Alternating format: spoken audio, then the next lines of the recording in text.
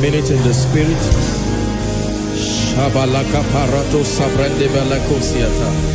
The glory is here. The glory is here.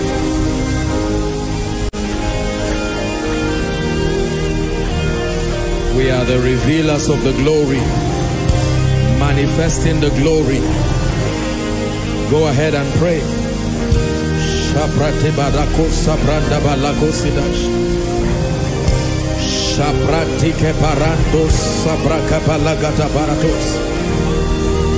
Shabreke sabrende belega barutia. We arise and we shine, for our light is come, and the glory of God is risen upon us. Risen upon us. Risen upon our destinies.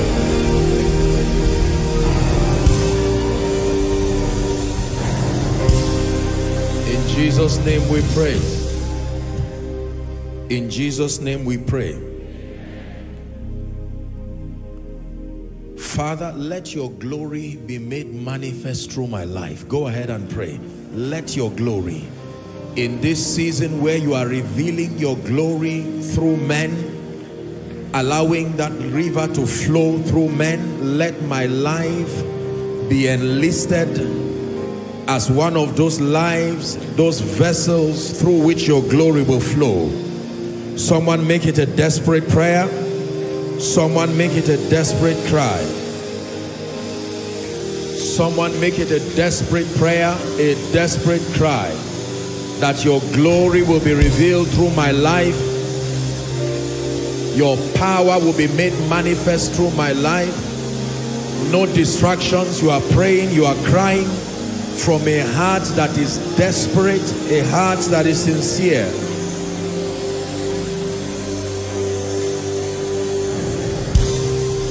Someone pray.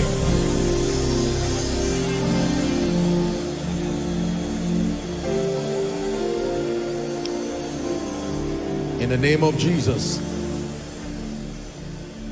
Hallelujah. The very powerful rendition by the worship team. It's important not just to dance over songs, but to listen to what the songs are saying first. Most times, believers just dance. It doesn't matter what is being said. Once the melody is pleasant, and there is a place for that. But don't forget that songs are also sermons. They are not just singing, they are speaking to your spirit. It's important to follow the words, follow the thought line, then receive it into your spirit. Then you rejoice over it. Hallelujah. Hallelujah, hallelujah. Yahweh, we worship. That's just a song in my spirit.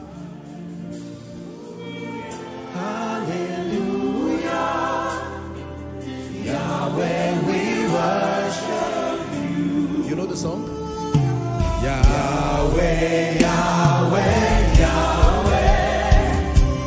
Yahweh, we worship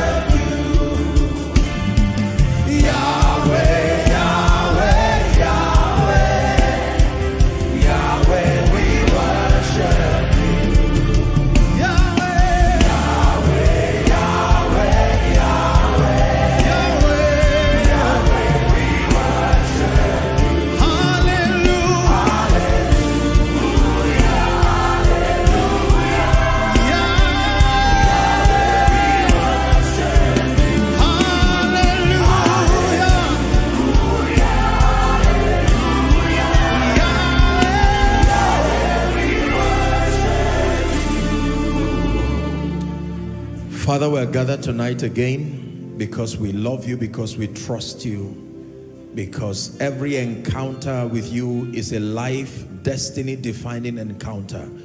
And we pray in the name of Jesus that your spirit will find unrestrained access to our minds, our destinies, change what needs to be changed, remove what needs to be removed, bring in what needs to be brought in, in the name of Jesus. That at the end of tonight's service will be mightily imparted to the glory of your name. You believe that? Shout a loud amen. God bless you. Good evening. Please be seated. Please be seated. Welcome to church. This is Koinonia. Blessings to all who are following us across the globe. It's always an honor to have you join, to have you connect. Um, we are a very minute fraction as far as those who are listening to this teaching is concerned.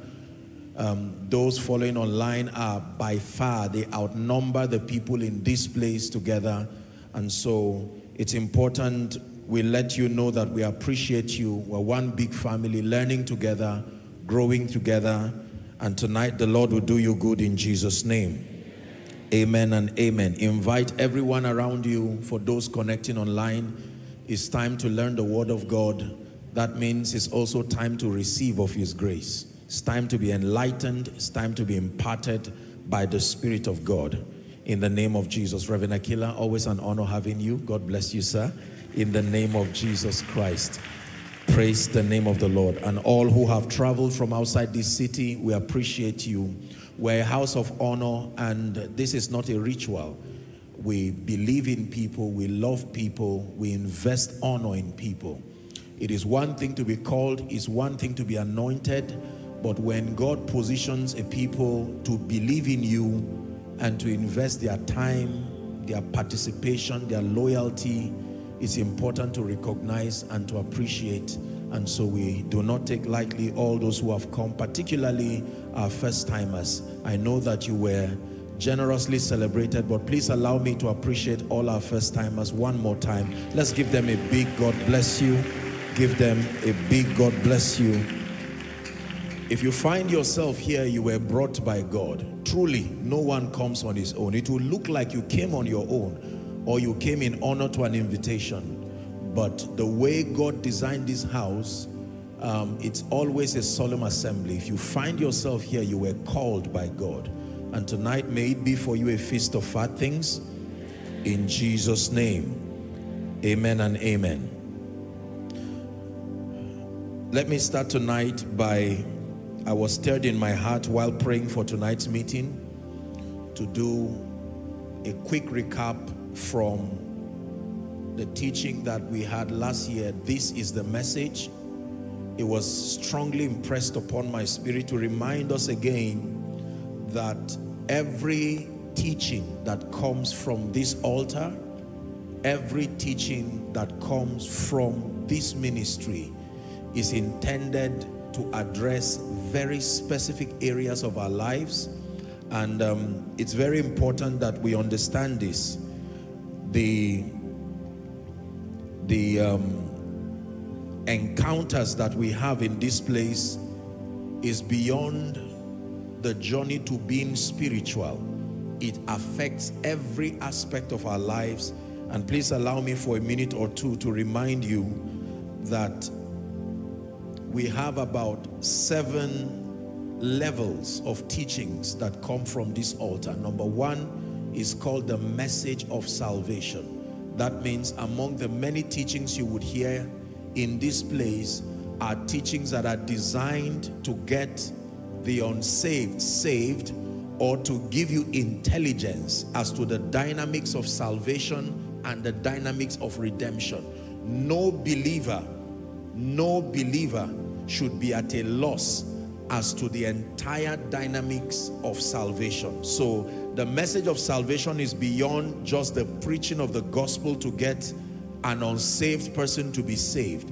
It also educates the believer to really appreciate what happened to you and to equip you with the knowledge to be able to administer salvation to another person. I personally believe that it is embarrassing if any believer has been in part of a flourishing word-based ministry for at least a year and cannot articulate um, himself or herself as touching the matters of salvation.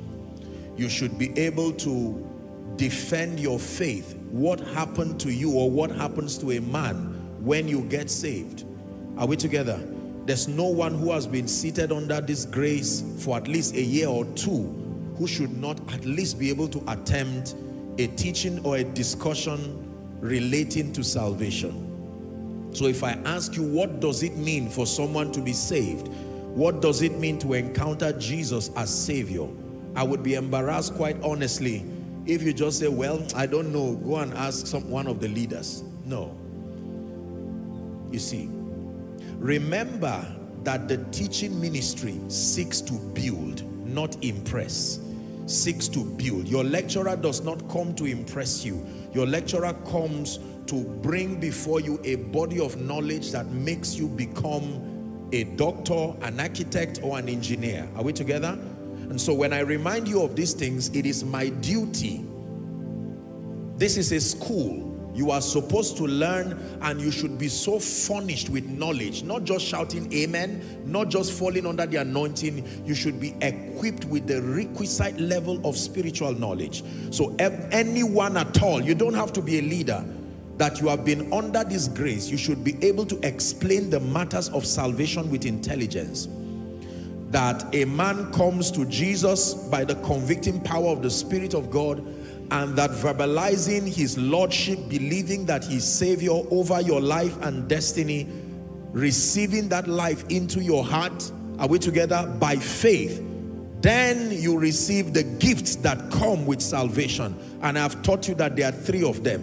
Number one is the forgiveness of sin. Never forget this. When you get saved, when you come to Jesus, at salvation, the first gift you receive is the forgiveness of sin. The second gift you receive is righteousness through faith. The nature of righteousness. The third gift you receive is eternal life. So you don't just receive life. The emphasis is usually on eternal life, the Zoe life. But it starts with the forgiveness of sin. If your sins are not forgiven, you cannot be declared righteous. And if you are not declared righteous, you cannot receive his life. So it starts with the forgiveness of sin. This is a theological progression of salvation. Forgiveness of sin, righteousness by faith, and then the life of God. Are we learning now? Very, very important. So that you can know who is saved and who is not saved. Number two, the message of transformation. The second kind of message that comes upon this altar is the message of transformation. I have taught you that when a believer comes to the faith, just because that person is a believer does not mean the person can um, manifest the riches of the life he or she has now received. That eternal life, the riches that are embedded in this Zoe life, they are released at the instance of knowledge. That means if you lack knowledge, you can be saved and yet your experience will be the same as that of an unsaved person. Your authority will not manifest. Your decisions will not be superior. The supernatural life you have received will not be made manifest whatsoever because manifesting eternal life is knowledge dependent.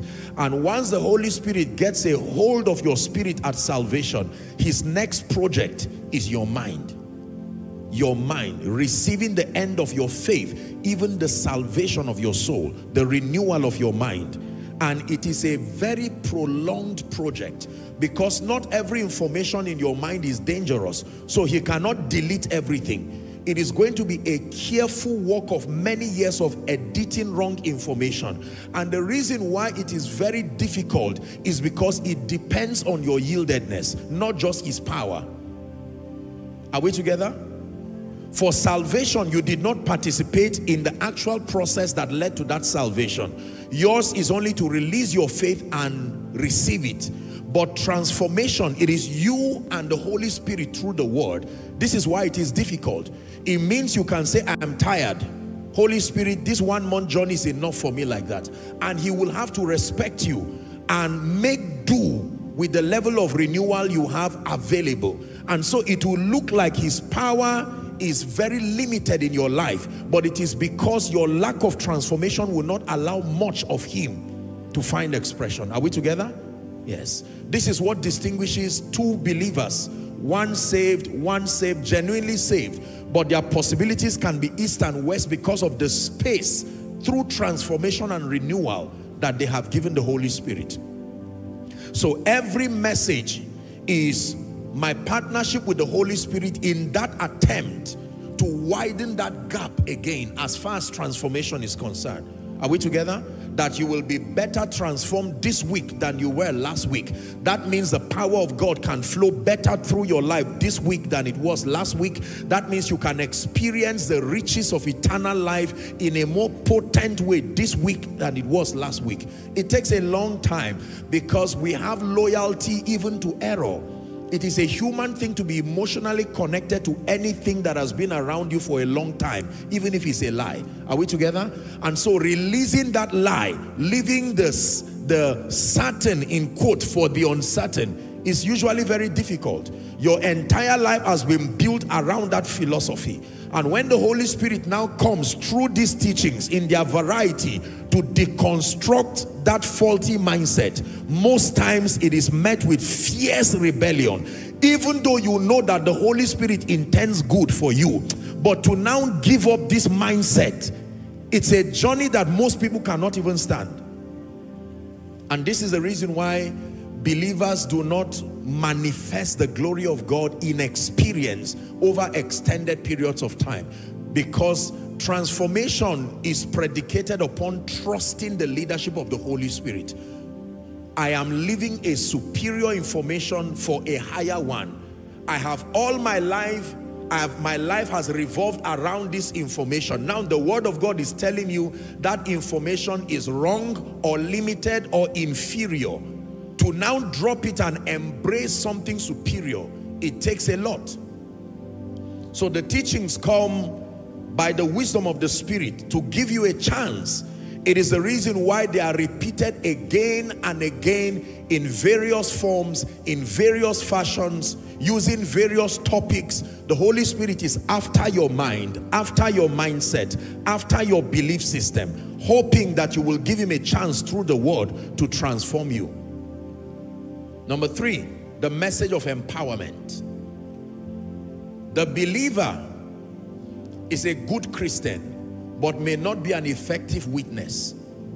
It takes beyond transformation to be an effective witness. You want to be an ambassador, you want to represent and defend the purposes of the kingdom, you will need more than transformation. You will need empowerment. And so there are teachings that come once and again from this altar targeted at empowering us, empowering us spiritually, showing us the keys that help men to have power with God. Hallelujah. Number four, the message of the supernatural. We are not just called to serve God.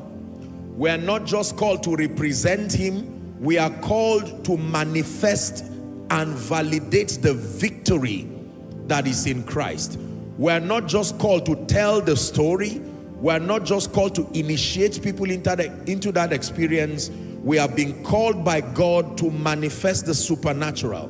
Signs and wonders, miracles, breakthroughs, and then a life of victory. Acts 4.33 says, And with great power gave the apostles witness of the resurrection of the Lord Jesus, and great grace was upon them all, upon them all, not upon the ministers in their midst, not upon the worship people in their midst, upon them all. The message of the supernatural. That means you would find through our teachings messages that help you not just to access power, but the dynamics, the working dynamics of that power so that you can experience victory, testimonies. Number five, the message of purpose. Upon this altar and through this ministry and through this apostleship, you will receive messages that build your life and build your consciousness as far as the matters of purpose and kingdom advance is concerned. Everybody has a purpose in Christ. Everybody has a destiny.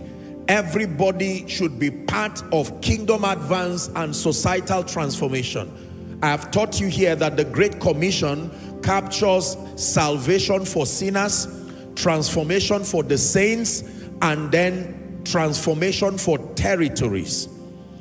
God has called us to be witnesses, to be agents of change. Hallelujah.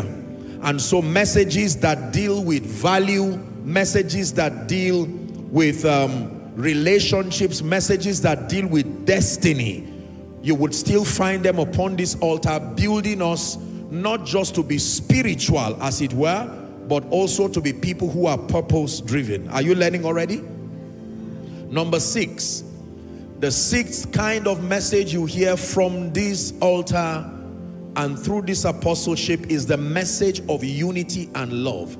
There is a unique investment of the Holy Spirit upon our lives to help bring believers, particularly the body of Christ, to attain a higher state of love and unity than we have attained so far. You would see this expressed in our attempt to bring balance to imbalances. You will see this expressed in our attempt to mend divides and to help galvanize misunderstandings. It is a mandate that God has given to foster unity and to foster love. It is very, very important. The message of love, the unity of faith, that we are always stronger together, better together, more effective together. Hallelujah. The seventh and final message you will hear from this altar is the message of lasting peace and fulfillment. Very important.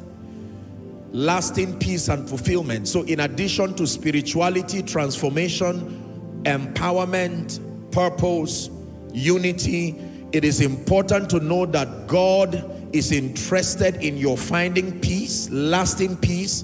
God is interested in your finding fulfillment.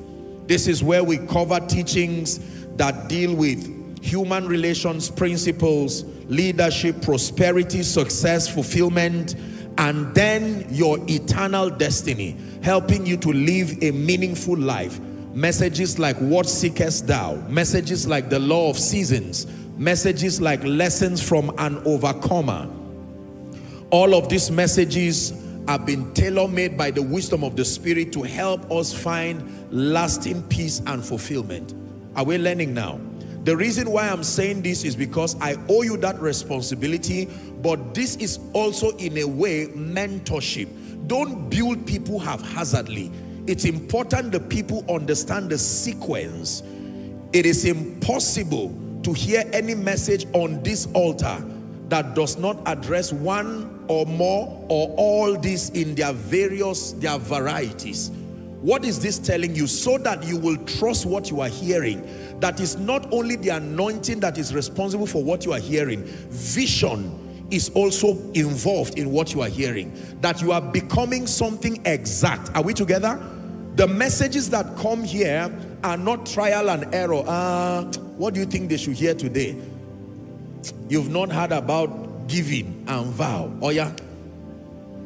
Turn to Genesis chapter 8, you know, and all of that. No. Leadership does not work that way. You don't build people haphazardly. I'm saying this so that you can you have a right to cross-check your growth against these indices. And if the curriculum is not covered, then you should not be here because it means I'm wasting your time. Are we learning now? So that if they ask you, why do you come for koinonia? You don't just say, I like apostle. Or you don't just say, I, it's God that asked me to come. Yes, God asked you to come. But you can defend your understanding. That in my coming, I have been taught along the lines of salvation, transformation, empowerment, purpose, and destiny. Are we learning now? Yes. You see, when you speak like that, it is a wiser way to invite someone to church than to tell the person, come to my church. You don't know what you are missing. Sit down there and, and don't grow. All those sentiments, no. When you market products, you the greatest way to market is to tell the truth. You are not afraid if the product actually works. Are we together? If the product does not work, you will have to patch it and do a lot of things and tell lies. But if the product works, you will have the confidence to say, I guarantee you, taste of this product. Hallelujah. It is my commitment to make sure that the teachings that come week in, week out cover these grounds. And there is so much, you know, sometimes I wish we had service every day because based on what we have to cover, versus the opportunity we have. There is so much. I know God has helped us to learn, but you believe me, there is still so much to learn. Some you have heard them, but you didn't get them. You are just aware. It has not entered your spirit because your result has not yet shown you have received it. So sometimes God will force me to repeat it again. It may not be new, but it's always fresh. Are we learning now? This is how you train people. So that at the end, when you step out as a witness, you will bring great glory to God and you will bring pride to us who have been used by God to mentor you because you will not disgrace both God and us. Are we together? As you speak, it will be clear that you've been greatly mentored. My life is confused. Somebody is meeting with you now. I don't know what to do with my life. In fact, I don't even know. I want to kill myself. You don't say, yeah, my brother, you are not the only one. All of us too want to kill us. No. If you speak like that, then you are not behaving like a mature child of God. You may be saved. You are not bringing validation to Jesus and then to this ministry. But you can help the brother to say, listen, my brother, I understand, but there can be a way out. Our destinies are framed by our understanding. What do you mean by that? No, my father is the reason why when his colleagues were learning, where was he? Well, he's made his mistake. But the gift of time is God's proof to you that he's still interested. Oh, wow, I'm listening. Is it making sense what I'm saying now? I'm acting all this drama so that you understand what I'm saying. You're discussing with the person. Yes, the Bible says this and that. Death and life are in the power of the tongue. You need to culture what you're saying. You're calling yourself names. You are programming realities. Words are not empty. Is that true? Yes. What do you mean words are not empty? Let's go to scripture. Don't say I think. Don't say I know. The basis of the believer's proposition is the written word. So if you are talking to someone and say, my brother, they taught me, just are you going to listen or mm, go to the scripture? If you don't know what is written, you will only be speaking head knowledge. You see, the moment you go to the Bible, you stop trying to defend anything because you are announcing what is written. When you don't bring it is written, you have to go through the labor of defending and you will transfer the pain to a pastor or a church and trouble will come from there. But when you take people to scripture, is the final bus stop. Any disagreement they have will be between the Bible and God. Are you learning now? Imagine, imagine, imagine that with what you know so far, you can literally look at someone and with intelligence, spiritual intelligence, know what is wrong with the person. Why does everybody hate me in this office? It's as if I'm not a Christian and you can see the gaps. I have told you when doors close. Let's write a short exam. Every time doors close, what is responsible? Hmm. Half, 50%. You didn't answer the question well dishonor to God, dishonor to men, dishonor to principles. One more time. Dishonor to God, dishonor to men, dishonor to principles. So you can know immediately why are they fighting this man? Yes, there may be an undertone of witchcraft and all of that, but they prey upon his dishonor. Deliverance is not the only thing that man needs. Because even if he's delivered, his bad attitude of dishonor towards his superior, he has not learned how to speak well. He said something bad and the boss had it. The boss is now dealing with him. What is the key? You see that now? You teach the man that this is the world of men and all blessings come from God through men. You see that that person is being delivered already. Next Sunday, they call you a pastor. Immediately. The Bible says they shall call you ministers of our God. When they are confused, they know who to run to. You are already scaling your influence in that organization. Because they now, you have become a reference. Every time they are confused, every time they are making blind arguments, without any title, they come to you. The Bible says you shall be a repairer of the breach. It is part of your destiny. Lay your hands on your head and say, Lord, I want to be an exceptional witness. Go ahead and pray. I desire to be an exceptional witness, not just a church goer, not just a professing Christian. I desire to be a an effective exceptional witness furnished by light furnished by spiritual intelligence go ahead and pray you're not wasting your time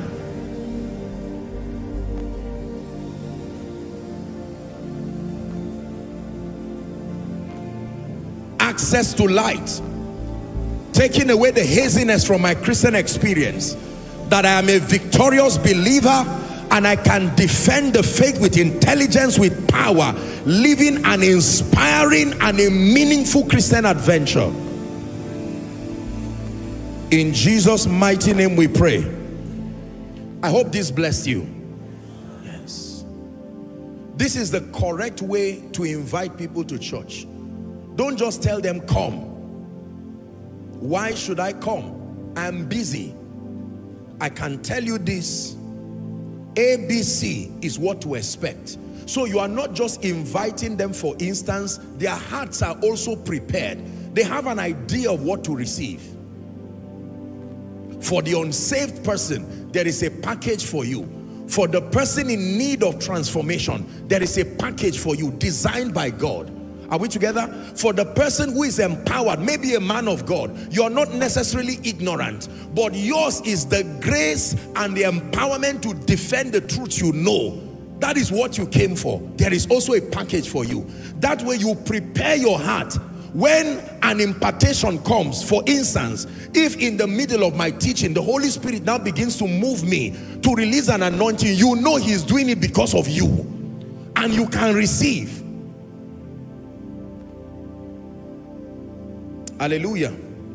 Let's get to tonight's teaching. This is one of the side effects of passion. I can take on this appetizer and flog it out till, till it's night. It's good to eat well, even biologically. When you eat well, you are you stay well, you are you are healthy and you are happy. Is that not true? Thank you, Jesus. Tonight I'm teaching on the manifold grace of God. It's a very powerful teaching. The manifold grace of God. We want to contend tonight for greater exploits, greater witness as believers.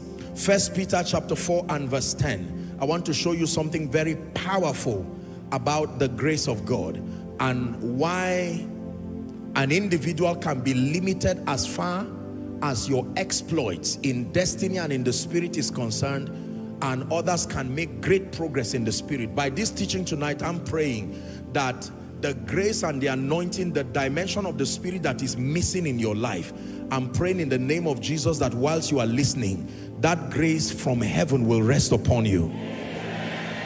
In the name of Jesus Christ, the manifold grace of God. First Peter chapter 4 and verse 10.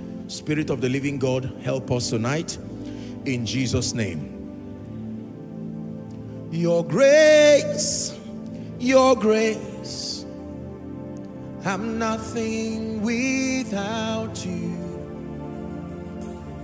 Your grace, your grace shines on me. It's your grace your grace. I'm nothing without you. Grace, your grace shines on me. First Peter 4:10. Let's read together. First Peter 4:10. Media, are we ready? Let's go. Every man had received, as every man had received the gift, uh-huh, even so minister the same one to another as good stewards of the manifold grace of God. As good stewards of the manifold grace of God. Very clearly here we see from scripture that the grace of God is multidimensional and I'll define grace for you shortly. But just for you to know that the grace of God is multi-dimensional. First Peter chapter 5 and verse 10. First Peter chapter 5 and verse 10. But the God of all grace, the God of all grace, not the God of grace, the God of all grace, a summation of every dimension of grace, who hath called us unto his eternal glory by Christ, after ye have suffered a while, by those graces together, make you perfect, make you established, strengthen you, and settle you. But these four possibilities, perfection, establishment, strengthening, settlement, rest roundabout, is a product of all grace. Not just one dimension of grace. Are we learning now? Very important. First, Second Corinthians chapter 9 and verse 8. Second Corinthians chapter 9 and verse 8. It says, and God is able to make all grace abound towards you. Is someone learning already? Is able to make all grace, not some grace, not a dimension, a department. All grace abound towards you so that ye having all sufficiency in all things may abound unto every good work. So it takes the manifestation of all grace to abound in every good work. Can I give you one more scripture? Second Corinthians chapter 8 and verse 7.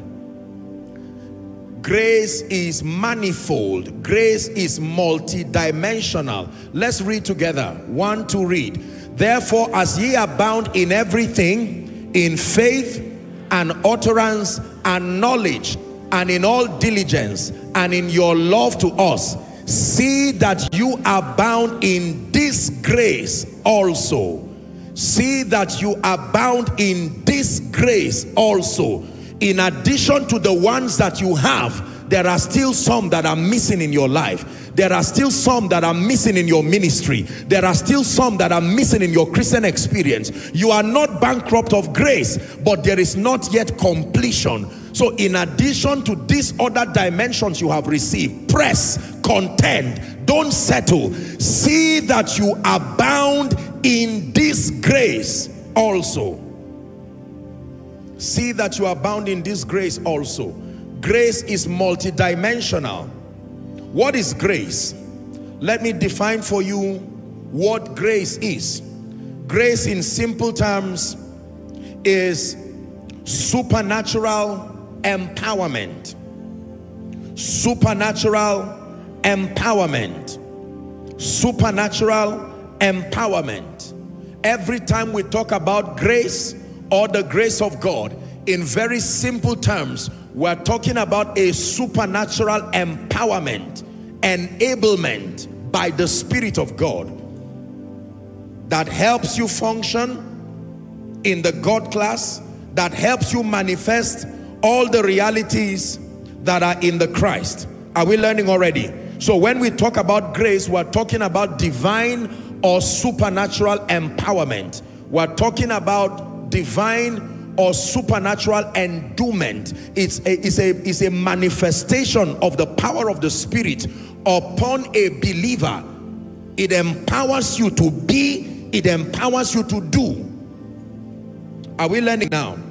Now, theologically speaking, their grace is broadly in two categories. There are two major categories of grace. Number one is called saving grace. You may want to write that down for your knowledge. Number one, we're dealing with manifold grace, but let me just give you a theological background. That from a theological standpoint, the grace of God is expressed in two major dimensions. Number one is called the saving grace. The saving grace. This is very powerful. The saving grace. Is someone learning? Yes. The saving grace. This is the grace that is released upon an unbeliever that makes that believer to believe the gospel. Listen carefully. That believes the gospel is the empowerment that comes upon an unbeliever, granting that unbeliever access to even believe the gospel and to receive Jesus. Without this saving grace, no matter how powerful a sermon it is, you will, it will not make any sense. Isn't it amazing? I was thinking through my notes and I was thinking of the many evangelists that have walked upon the earth and the many crusades that have happened. Some have brought great harvest. Some have not brought as much harvest. And I'm wondering what is the difference? I had to investigate Peter's sermon, the first recorded sermon after the outpouring of the Holy Spirit on the day of Pentecost. I would not preach that kind of message. It didn't sound very coherent and coordinated, yet in the midst of it, 3,000 people came in one meeting. That means it was beyond the words. It was beyond the sermon. Are we together? There was a grace by the Spirit that was released upon the hearers. I'm saying this up front so that as you minister the word, as you teach, as you preach, especially to unbelievers, do not think it is just by the persuasion of your speech that they will come to Jesus. In fact, to be honest with you, there have been many crusades with mighty miracles, genuine miracles that happen. And yet at the end of all those miracles, when an altar call is made, the number of people who come out relative to the signs and wonders, you would think because of those signs and wonders, people should flock to Jesus. But sometimes it's not like that. I've studied Billy Graham, for instance, and um, there were not many, in fact, I don't know any spectacular recorded miracles as we know, wheelchairs, you know, and so on and so forth. And you would see people sit down sometimes like they were dead as he was teaching. Very ordinary, very human, very simple, nothing charismatic, very intelligent, theological, philosophical. And when he was done, as he makes the altar call, you will literally know that there has to be a force that picks those people from their seats. It's called the saving grace. If you preach without the awareness that there is the saving grace released through your sermons, released through your examples, released through your altar call. You may speak so well and yet be disappointed. Everybody say saving grace. That is the grace that convicts. That is the grace that gives unbelievers an allowance to step forward, to come to Jesus at the point of salvation. I've had the honor of seeing that grace work I've seen it work. I know it works. That by the time you draw, you preach and you draw people, sometimes you are tempted to say, did you understand what I just said? I'm not saying those who want to be healed. Amazing grace. Still remember?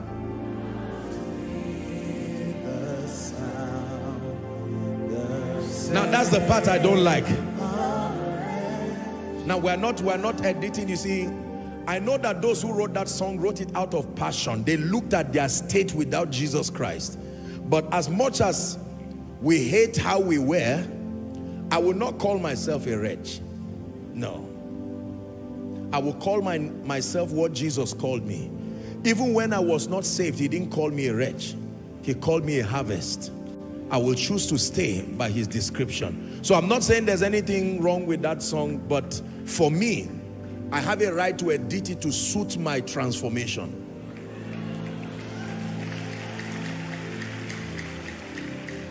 Are we learning? Thanksgiving to all. In fact, I prefer grace, grace. God's grace. Help me.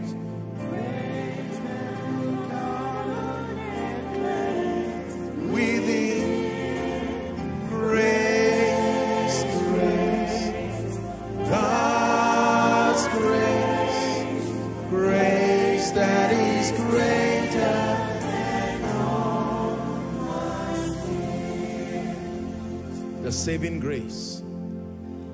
The saving grace. Everyone here who is genuinely saved, I want you to know that that was the grace. Whether it was in your room, or it was here in Koinonia, or at a crusade ground, or some tracts were given to you, it didn't matter how you got saved. If at all you got to a point where you saw your sin and you saw the need for a savior, I'm telling you that between your former state and you're now being a believer, that was the grace that was released. Everyone say saving grace. The next time you are preaching to someone, whether it's to one person or to a crowd of people, have it at the back of your mind that whilst I'm speaking through the frailty of my communication, the limitations of my example, the simplicity of my presentation, that there is a grace that goes beyond what I'm saying. You believe that? So that you know that you are not alone. Whilst you are preaching, whilst you are speaking, there is the saving grace. The grace of God that bringeth salvation has appeared unto all men. How many men? all men, the grace that brings salvation has appeared unto all men. The second dimension of that grace, and this is where I want to dwell tonight for our discussion, is called the enabling grace. The enabling grace. The enabling grace. The first has to do with all men, believers or unbelievers, all together anyone at all who comes to Jesus is a beneficiary of that grace. But the second dimension of this grace is called the enabling grace. And I want you to listen very carefully. If you're a man of God here, I want you to listen. I want to show you a very powerful key to really rising in power. Power that shows. Hallelujah. Enabling grace. This is the supernatural empowerment of the Spirit supernatural empowerment of the spirit second corinthians chapter 12 8 and 9 second corinthians 12 8 and 9 for this thing i besought the lord thrice that it might depart from me. Paul what he called his thorn in the flesh. And he said unto me this was the response of god to his issue my grace is sufficient for thee. It says, for my strength is made perfect in weakness. Most gladly, therefore, I would rather glory in my infirmities that the power of Christ may rest upon me. The power of Christ may rest upon me. One more scripture, Philippians chapter 4 and verse 13. The enabling grace. The enabling grace. I can do all things. I think I've said it here it's a very, very arrogant statement if that statement is not completed. Do you know how many things are there to be done on earth? How does a man stand and speaks to a church? Paul is speaking to the church in Philippi and then he says, I can do all things. I understand God can do all things. But you stand as a man and say, I can do all things. But then he says, through Christ which strengtheneth me. Through Christ, which strengtheneth me. No wonder scripture says, by you I can run through a troop. It says, by my God, I can leap over a wall. That means there are things that alone should not be done by ordinary men. But when this enabling grace comes upon you, and I'm praying for someone already in the name of Jesus that the things you could not do needed for your destiny, needed for the revelation of Jesus, the requisite grace for the next level, may it come upon you. The requisite grace for the next level, may it come upon you. In the name of Jesus Christ. Second Corinthians 3 and verse 5. Powerful scripture. 3 and verse 5 not that we are sufficient of ourselves to think anything as of ourselves it says but our sufficiency our ability to always rise to the occasion never disappointing. That when you see ordinary men producing extraordinary results paul here is defending the supernatural in men. He's saying we are not sufficient in ourselves but our sufficiency is of god. Of God, of God. Our sufficiency is of God. There is something we outsource from God that is responsible for the extraordinary results. Are we together? There's an enablement, an empowerment outsourced from God. Your life will command the extraordinary. Your life will command the extraordinary. I say it again to a believer, your life will command the extraordinary that men will look at you and say, as a man of God, you are an ordinary man. Why are these kinds of results being produced? And you will tell them there is an enabling grace. It comes by the Spirit upon ordinary men. But when it does come upon that ordinary man, you cease to be ordinary. Cease to be ordinary. You cease to be ordinary. You cease to be ordinary. Now, please look up.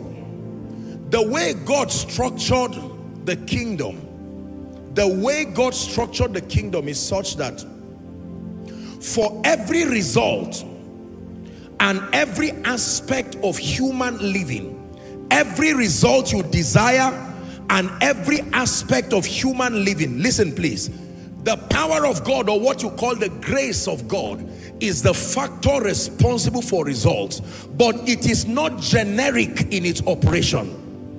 This is something you need to learn. The grace of God is not generic. That means you can, you can receive a grace, but that grace you have does not speak to every area of your life.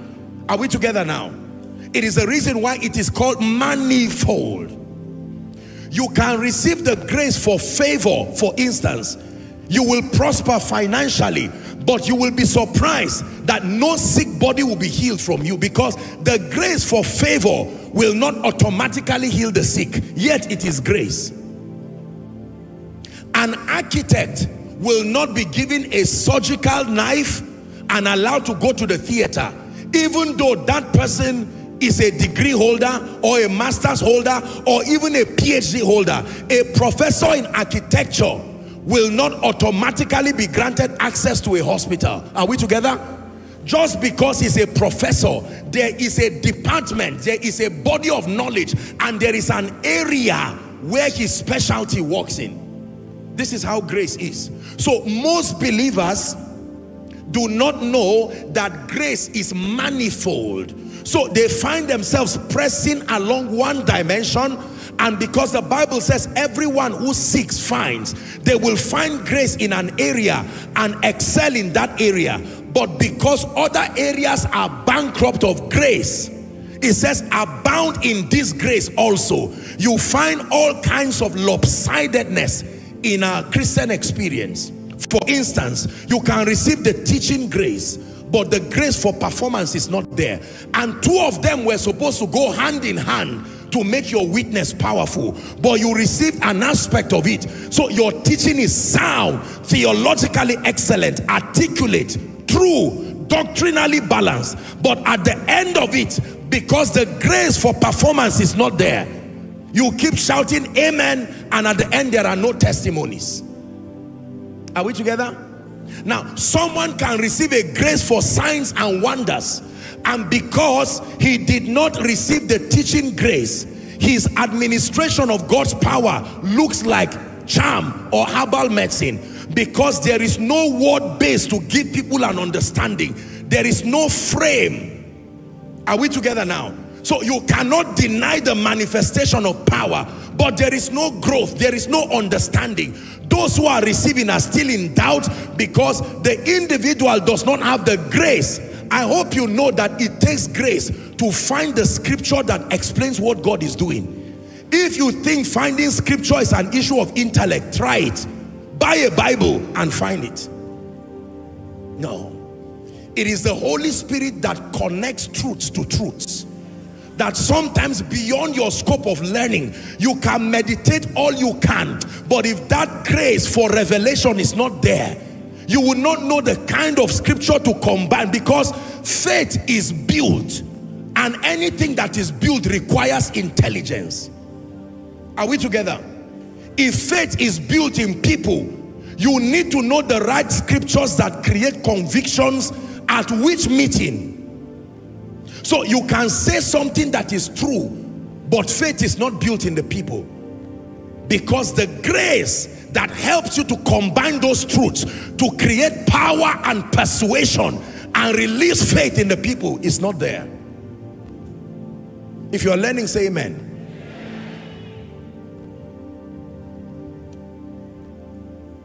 So, there are several aspects of our lives leadership, ministry, the supernatural, family, parenting, every major aspect of human life, let me tell you the truth, once there is an opportunity to represent the Christ there, there will be need for a grace. There is a grace, a dimension of this empowerment from the Spirit.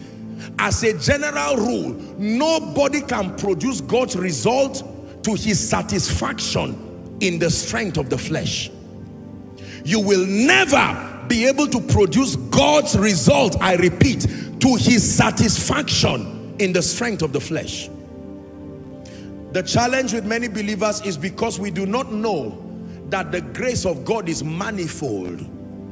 Sometimes, because of the abundance of grace we enjoy in one area, it produces laxity and we cannot press for the other dimensions of grace that are missing in other areas. Are we together? And so you find lopsidedness in our Christian experience, excelling in one area, but being utterly defeated in another area. I have seen people who have the grace for teaching, for instance, even have the grace for leadership, but the grace called favor, speaking across their lives, and even finances is not there. There are those who don't have the grace for relationships. They are sincere people, but nobody wants to be their friend. Yet there are others who are not the best of people yet. If they enter a strange place, give them one day, they've made three friends. Not by lying, they don't even know what is responsible for that attraction. I am telling you, it's a grace. If you carry that grace, but even if two of your hands are empty, you will never return empty. That grace speaks. It causes people to behave to you in a certain way. Have you seen people like that? So you will see somebody well dressed with your tie and suit and you see another person looking like you know somebody who is not responsible and two of them will go somewhere and you'll find the CEO connecting with the other guy so um, why are you looking shabby like this sir I was just not in the mood to dress well oh I see it looks like you are a Yoruba person. And the other person say, look at me. Oh dear. If you look at the physical alone, you will be cheated in life a thousand times. I hope you are learning the manifold grace of God. Now, when you see certain results happening in people consistently, consistently, it is because through the principles I'm going to be showing you, they have by mercy accessed this grace in the various areas as needed by their destinies. It is your assignment to stay with the Spirit of God. Listen, and it is your assignment under a teaching grace like this my assignment is to show you the various aspects of your life that will be needed for destiny actualization so that in prayer now through knowledge you can cry for grace. So if you find out for instance that God is calling you into ministry there are certain graces that should be present in your life. The spirit of prayer and supplication the grace for leadership and administration. Are we together? The grace for influence. These are the manifold graces that if not there, you will see the direct consequence of not having that grace. Maybe this is explaining why a faithful Christian is not seeing results in other areas. Because for us we are looking at grace as a generic thing. I have it. I fell down that other day. I received the grace called favor. It means i can organize a crusade. Where are the sick people? All of you come. Apostle laid hands on me. What came on you that day? This is the reason why we speak every time. Because it's not the same thing resting on you are we learning now Yes. It's not the same thing resting on you. Do you think Isaac had never laid hands on his sons? Do you think Isaac never touched them? The question is, why didn't that blessing he was talking about, why didn't it flow? If it was just about contact. Paul, Peter calls himself a steward of the manifold grace the manifold, the many-sided, the multi-dimensional. The saving grace is one, but the enabling grace is scattered into various aspects of your life. The aspects of your life that are needed for life and godliness. Each and every one of them is grace dependent, empowerment dependent, and all of them function differently. Please look up. The way the grace for healing works is that it works with the hearing of faith and that's it. When the grace for healing is upon you, it is activated every time there is the hearing of faith. Are we together now? So once the word of God comes, you perceive faith to be healed in the people, you can release that grace. But the grace, say for prosperity and wealth does not work that way. The grace for prosperity and wealth, number one, it works upon your mind. I've taught you this. It transforms your thinking. Then it enables you to be productive. Then it translates to divine direction. You see that now? So just because you understand the working dynamics of the healing grace does not mean you can prosper because their working dynamics are different. And then if you obtain, say for instance, the grace for influence. The grace for influence cannot work until you understand leadership and relationships. If you don't understand leadership and relationships, you can shout amen to the grace for influence. You can have it, but you will never be able to lead anybody.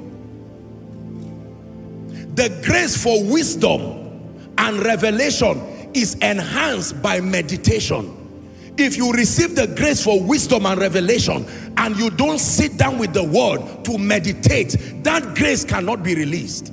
Are you seeing how they all work now? So just because you shouted amen and you received the grace, it's important to know what you received and to know how to activate it. The manifold grace of God. So there are many believers who have not received these graces or they have received it but they are not taught the dynamics how the graces work. Today I can release upon you the grace for influence because I have taught you the dynamics. You know that influence is a combination of honor, relational principles, value. That grace can rest upon you and it is safe because there is an understanding that can activate it. When you carry that grace to an organization, in three months, you can become a leader there. Do you know why? Because you have what it takes to release the grace. The knowledge component to release that grace is there. If I go to a crusade ground, I don't need to be smart to heal. I don't need to be smart. All I need to carry is the genuine healing anointing, the grace for signs and wonders. And once there is an opportunity for faith to rise, either through worship or through the teaching of the word, once there is the hearing of faith, the power of God will be released there. And you will find people who are healed and tell you, I was doubting, even as at the time, you see that now? But when you want to transform people, it needs intelligence on your own part. You who carries the spirit of wisdom, are we together? You must also pray for the grace and the gift of utterance. Utterance. The teaching ministry depends on utterance. If you don't have utterance, you can know the truth, but you may not know how to communicate it in a way that profits your hearers. If you're following me, say amen. I have watched sometimes with pain in my heart as many people who do not understand the spiritual dynamics, they remain limited in ministry, limited in their faith adventure, limited in ministry, limited in their faith adventure. Why then do we go for knowledge? Since it is grace that is really responsible for all the work, why don't we just receive grace? Why do we keep learning and going under the labor of transformation? Are we together now? If that grace component is really the secret, then apostle, why subject us through teachings and teachings? Why don't you just hold an impartation service? If you are tired, there are ministers here. Lay hands on them to lay hands on everybody and say, go and manifest. Unfortunately, It doesn't work that way. This is the major thing I want to teach you now. Because for many people, we are impartation conscious. That's why we keep falling and rising, shouting and rising, rolling and rising, and yet the results that follow that impartation is not at work in us. It's not like the impartation is a lie, but we have not learned the dynamics of activating this many-sided grace of God. Pray right now and say, Lord, open my eyes. Open my eyes to see. Open my eyes to see. Open my eyes to see. It's a new season. It's time to produce genuine results in ministry. It's time to produce genuine results in my Christian adventure. Someone go ahead and pray. Time to rise to a higher level of witness. In Jesus' name we pray. Second Peter chapter 1, please, from verse 2 to 4. So number one, I said that the grace of God is his divine enablement and that there are broadly two dimensions to that grace, the saving grace and the enabling grace. And that the enabling grace is broken into various, various kinds and various levels. That every possibility, every outcome in the kingdom is grace or empowerment dependent. Are we together? and that for every grace you receive you must also understand the working dynamics how that grace is released and how it operates. Now let's go to second peter chapter 1 please from verse 2 it says grace and peace. Grace and peace. Look up please be multiplied unto you through the knowledge of our god and of jesus our lord. Verse 3 according as his divine power hath given unto us all things that pertain unto life and godliness through the knowledge of him that has called us to glory and virtue. Verse 4 it says whereby are given to us exceeding great and precious promises that by these ye might be partakers of his divine nature having escaped the corruption that is in the world through lust i want to show you very powerful principles right now and I want you to please pay attention. I will show you how to receive the manifold grace of God and I will also show you how to activate the workings of that grace. You will be very surprised that some of you, what you need is not more impartation. What you need is an orientation to know how to release the grace that you have received. That grace came upon your life five years ago is still resting there domiciled because you do not know how to activate it and it will look like every miracle service or every impartation were a lie. Some of us even boast that truly I am a carrier of so so so and so grace and you are not lying but the results connected to that grace have refused to speak in your life because you do not know how to activate it are you ready to learn now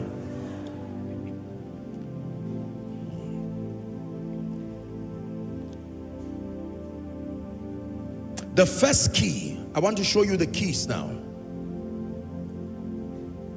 The first key that is responsible for accessing the grace of God, any dimension of his grace.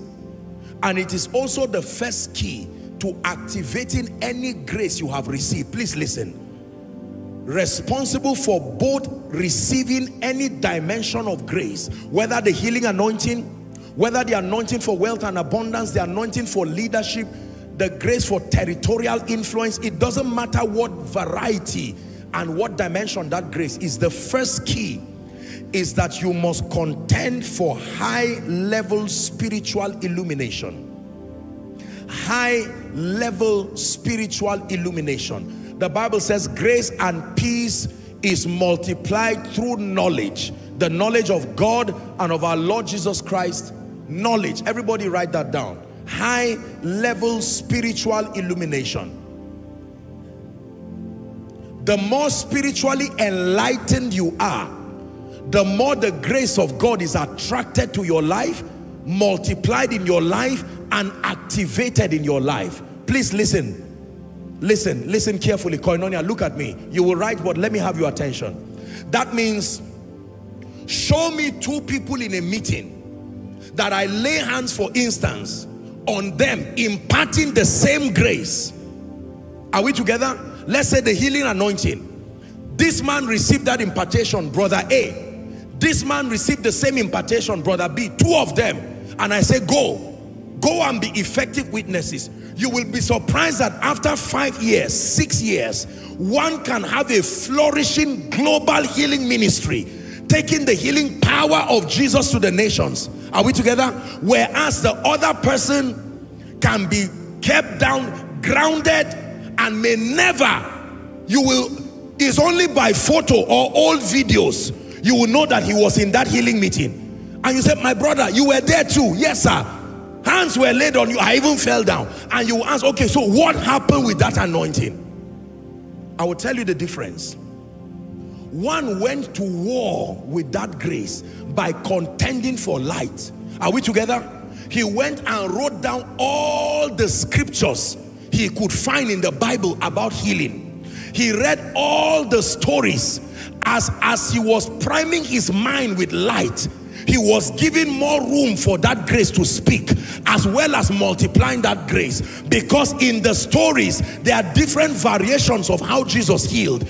In the stories of healing there were questions that were asked Jesus why couldn't this well you know this demon leave and he said this kind goeth not but by prayer and fasting who seen that this man was born blind. Now these are things that the anointing the impartation will not teach you. Is in the place of study you will see those variations.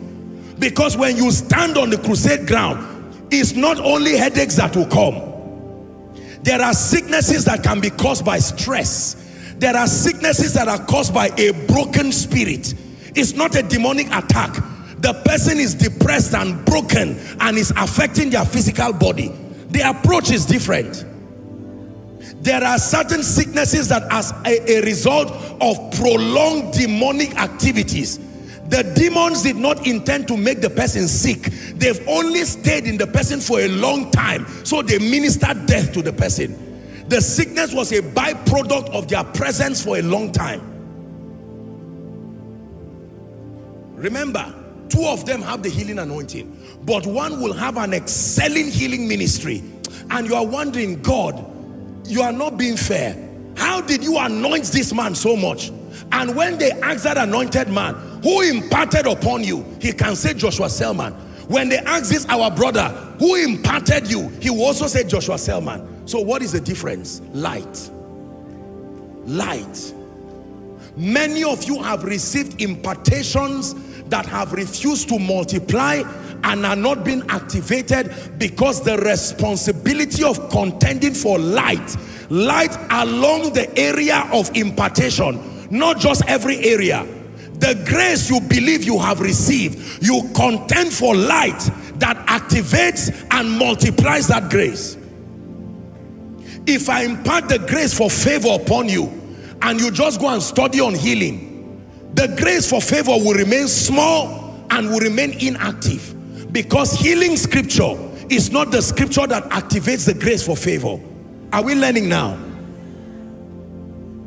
Most believers think an impartation is the end of everything. They do not know that that seed that has been sown in you, you should go back home and nurture it. Today, by the privilege of God's grace, and I say this with all humility, we are able to hold large meetings global meetings across the globe today, I know where that grace came from. That grace came from Reinhard Bonnke. I am a recipient of manifold graces. When you receive graces, it speaks. I was not the only one on that crusade ground by the grace of God. I know when it came. I would not dare to do the things I'm doing today. It's beyond having money. It's beyond having whatever I name. No. You cannot go across the globe. I saw Reinhard Bonnke. He left the US, came to Africa. Every African nation, packed stadiums, not just for the formality. And I said, no, there is a grace. If a frail man like this, beyond his speakings, when I stood at that crusade ground, I didn't go for entertainment. I knew what I desired. When it landed upon me, I went back to war upon it. I got the words of Jesus. I've studied every single crusade of Jesus in the Bible. I don't know how many times. Everybody say light. Don't fool yourself that just because you were under an anointed atmosphere, automatically that grace will speak. I'm showing you why impartations don't seem to work for many people in the body of Christ. Hallelujah. You know how many videos of Reinhard Bonnke, of T.L. Osborn, of Morris Cerullo. I have rare videos. Some of them I bought it. Are we together now? And I sat down. There were times I was not watching it for entertainment. I was watching it for connection a spirit connection.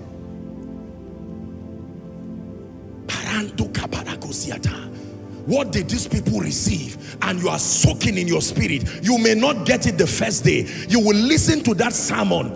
Ah, there is still something. One day you will hear something only you will hear. That is the day something has rested on your life. Hallelujah. Are you learning now? You've heard my story. I didn't used to prophesy like this, or oh, like to prophesy. I could speak over people, but to see and hear, no. It was in the night watching William Branham's message.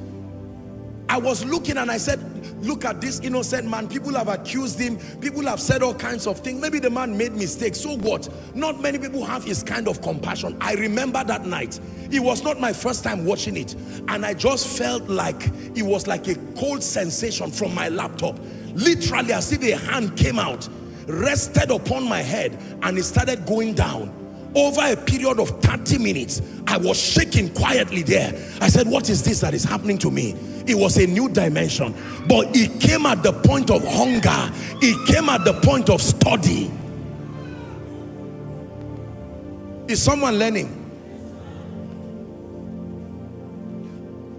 I desired the grace for favor. I was searching for careers of it because I knew that my life without that grace the word of God is there but graces are distributed through the ministry of men when I found the man Dr. Mike Murdock you see that I saw the wisdom of God at work in him I saw the manifestations of favor from the testimonies upon his life and I said Lord I believe you have deposited something upon the life of this man. There were many people who knew him, others ate with him, others work in his ministry. That was not my business. I was desirous of that grace. For one month, I was praying over the grace for favor with scriptures. When it landed, every devil in hell knew that that grace had come.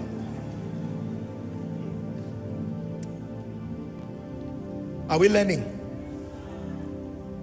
The first way you attract, multiply. Listen, you attract, multiply, and activate the manifold graces in their variety. Look, if you know what I'm teaching you, you will never go for any anointed meeting and return back and then your life does not change. You will not waste impartations again. And you will not need to go for a meeting twice to receive. Sometimes you may not have the opportunity to be under that grace twice. It may just be once. If I, if I missed out on that encounter with Reinhard Bonnke, I never met him one-on-one, -on -one, but I remember that first day. I stood on that crusade ground. I saw mighty miracles. Honestly, you, you would almost think they were stage managed. What sort of a thing is this? My heart desired it not for the loss of I was already a man of God seeing a bit of miracles there. But I knew that with my level of miracles you can't go to the nations that way. You will embarrass yourself and the name of the Lord. Living epistles. Here was a man who exemplified dimensions that were possible for anyone hungry and desperate. By the second day I made up my mind that I will not just come and stand here. I wanted to serve. I remember, you've heard my story. I, I came early. I was looking for something to do. was not interested in being a man of God or whatever. I saw them wheeling those who were had wheelchairs. They were wheeling them somewhere and I pleaded. I said, please let me help and push the people there too. They said I was not trained. I wasn't part of the committee. I said, which committee? I traveled all the way with hunger. Committee, as I held the wheelchair and drove it forward, I was praying in tongues. I didn't even know who was seated there. Lord, this is how it will be in my own meetings too. The Bible says, and without all contradiction, it's not human worship. The less is blessed of the greater. I stood there, you've heard my story. For six hours, I was standing. There was a pregnant woman close to me. Occasionally, the woman will be tired, you know, pray and lean on me. You know, I was tired too. I want to say, Madam, what is all this one now again? But honestly, God sees my heart. My eyes were set like a flint. I was looking at this man as if nothing would distract me. In pain, hungry, but I stood with my heart open.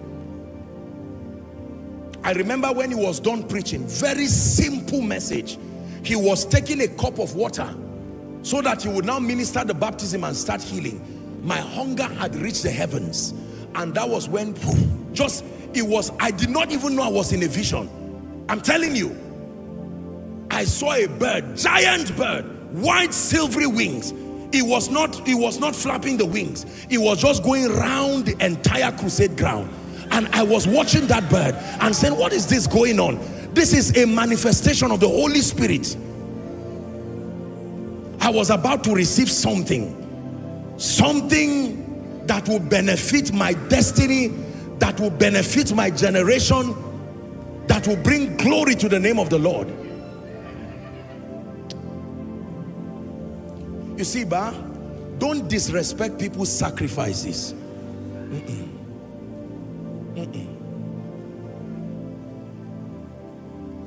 As I'm speaking to you, I still remember this like yesterday.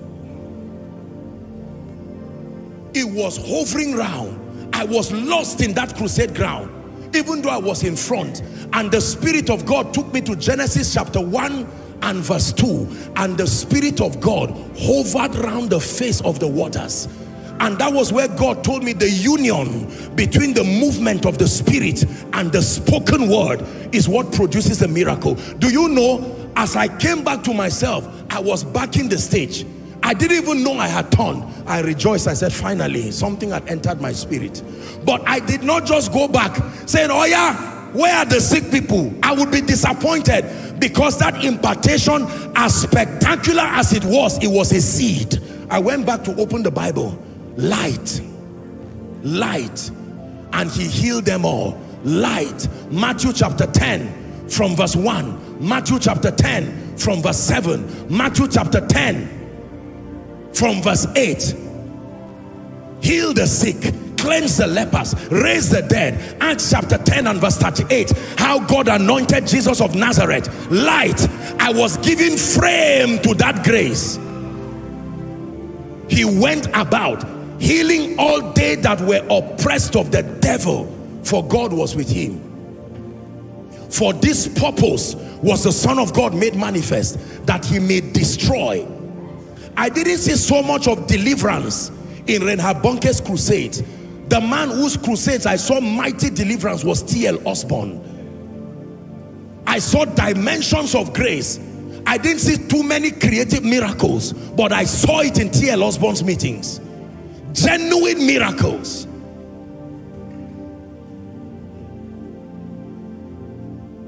Is someone learning? I knew that there was a grace that commands the attention of people. Is a hear ye him anointing. I had seen that grace upon our father in the Lord Daddy Gio. I had seen that grace upon our father in the Lord Bishop Oyedepo no arguments, no stupid talk. If you don't have results, keep quiet. If you don't desire, stay with God. Pursuit. I remember when I returned from Canaan land, I didn't just get up and jump. No, I opened the Bible. Ah, that was when I found Mark chapter 1 and verse 37. And all the disciples came to him and they said, all men seek for thee. All men seek for thee. All men seek for thee. I saw a grace of influence upon Dr. Miles Munroe. Strange influence.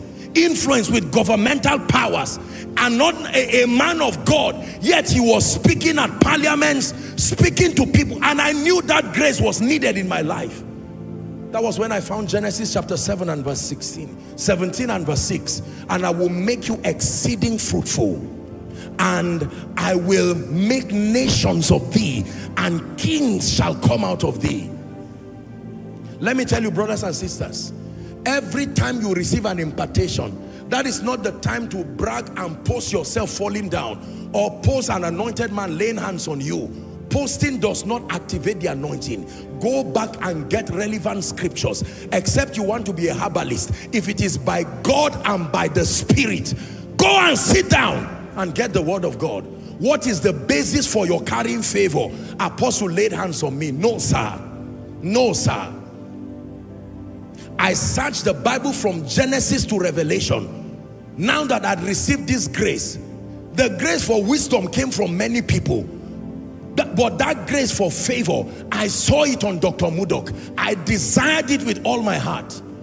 Profound man with strange testimonies of favor. Others did not appreciate it. Others trivialized it like they trivialized every sacrifice of everyone in the body. But I pressed for it. I didn't want to do ministry and be suffering around, especially financially.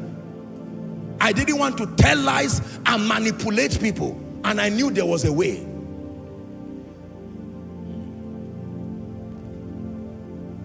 Is someone learning? This is very powerful. Manifold grace. No matter what grace you receive, I'm telling you now, if you contend for light, Sometimes my people come here to lead prayers and they share with you the various graces that are available in this house. Shouting amen is wonderful. Falling under the anointing is wonderful, but I am telling you, you will stay under that grace. Even if I tie my hands on your head and sleep off and wake up, you will be surprised that your life will not work. Do you know why? Because it is light dependent. Someone shout light. Shout again, say light. Can you show me the scriptures that support the healing anointing you carry? Can you show me the scriptures that support the ministry of Jesus you want to replicate? Can you show me the ministry that, sup that supports your being prosperous? Empty-handedness. Nothing is done in this ministry without scripture. No, the believer's life is bound to scripture and the operations of God as revealed in scripture. Exodus chapter 3 and verse 21. And I will give these people favor in the sight of the Egyptians. You know it. And it shall come to pass that as ye go, ye shall not go empty. You see, one day I was in the place of meditation when the Lord began to speak to me that there is such a grace for speed. And I said, speed? Who exemplifies that grace for speed? Well, if there's nobody, at least the Holy Ghost is here. And there were two scriptures that fired into my spirit. I remember Esther chapter 2 and verse 8, 8 and 9. Speed. That is a dimension of God's favor. Verse 9, please. Give it to us. The Bible says, and the maiden Esther pleased him, and she obtained kindness of him, and he speedily gave her the things for her purification. That when men obtain favor, part of its expression is speed.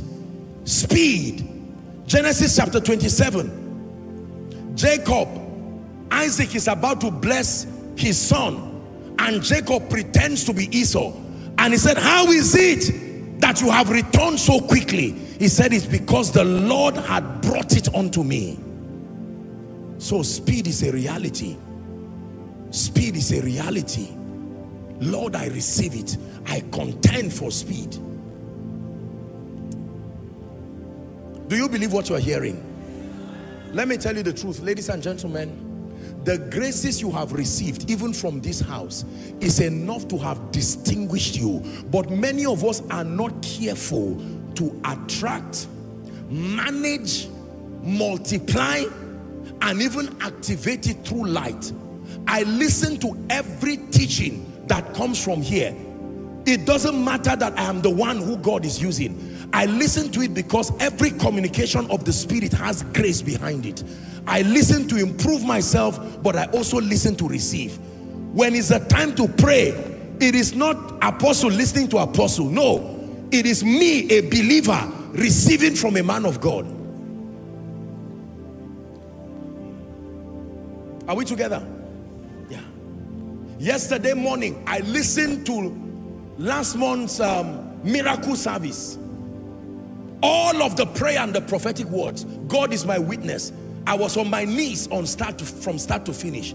Shouting amen with all my heart to every prophetic word that came. Look, results are not, don't doubt, if you are not working it, then don't blame God for it not working in your life. You must activate this thing by light. Someone say light. Shout again, say light. Please be a student of scripture. Don't just shout around saying, I know this one, that the GO laid hands on me. I even sat down in his car. Bishop Oyedepo, I met him somewhere. He laid hands on me. When I was coming, Papa Kumuyi laid hands on me. This one laid hands on me. Thank God for that. But men will only turn to idols in your life if you don't support your impartation by, with scripture. Are we together? Let me tell you the truth. Everything that is not working in your life, it is because the grace for it is not there or the grace for it is not yet activated.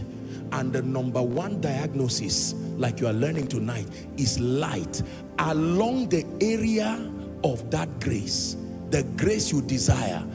If you are broke and finances is not working, don't argue and insult rich people. You are broke, you are broke.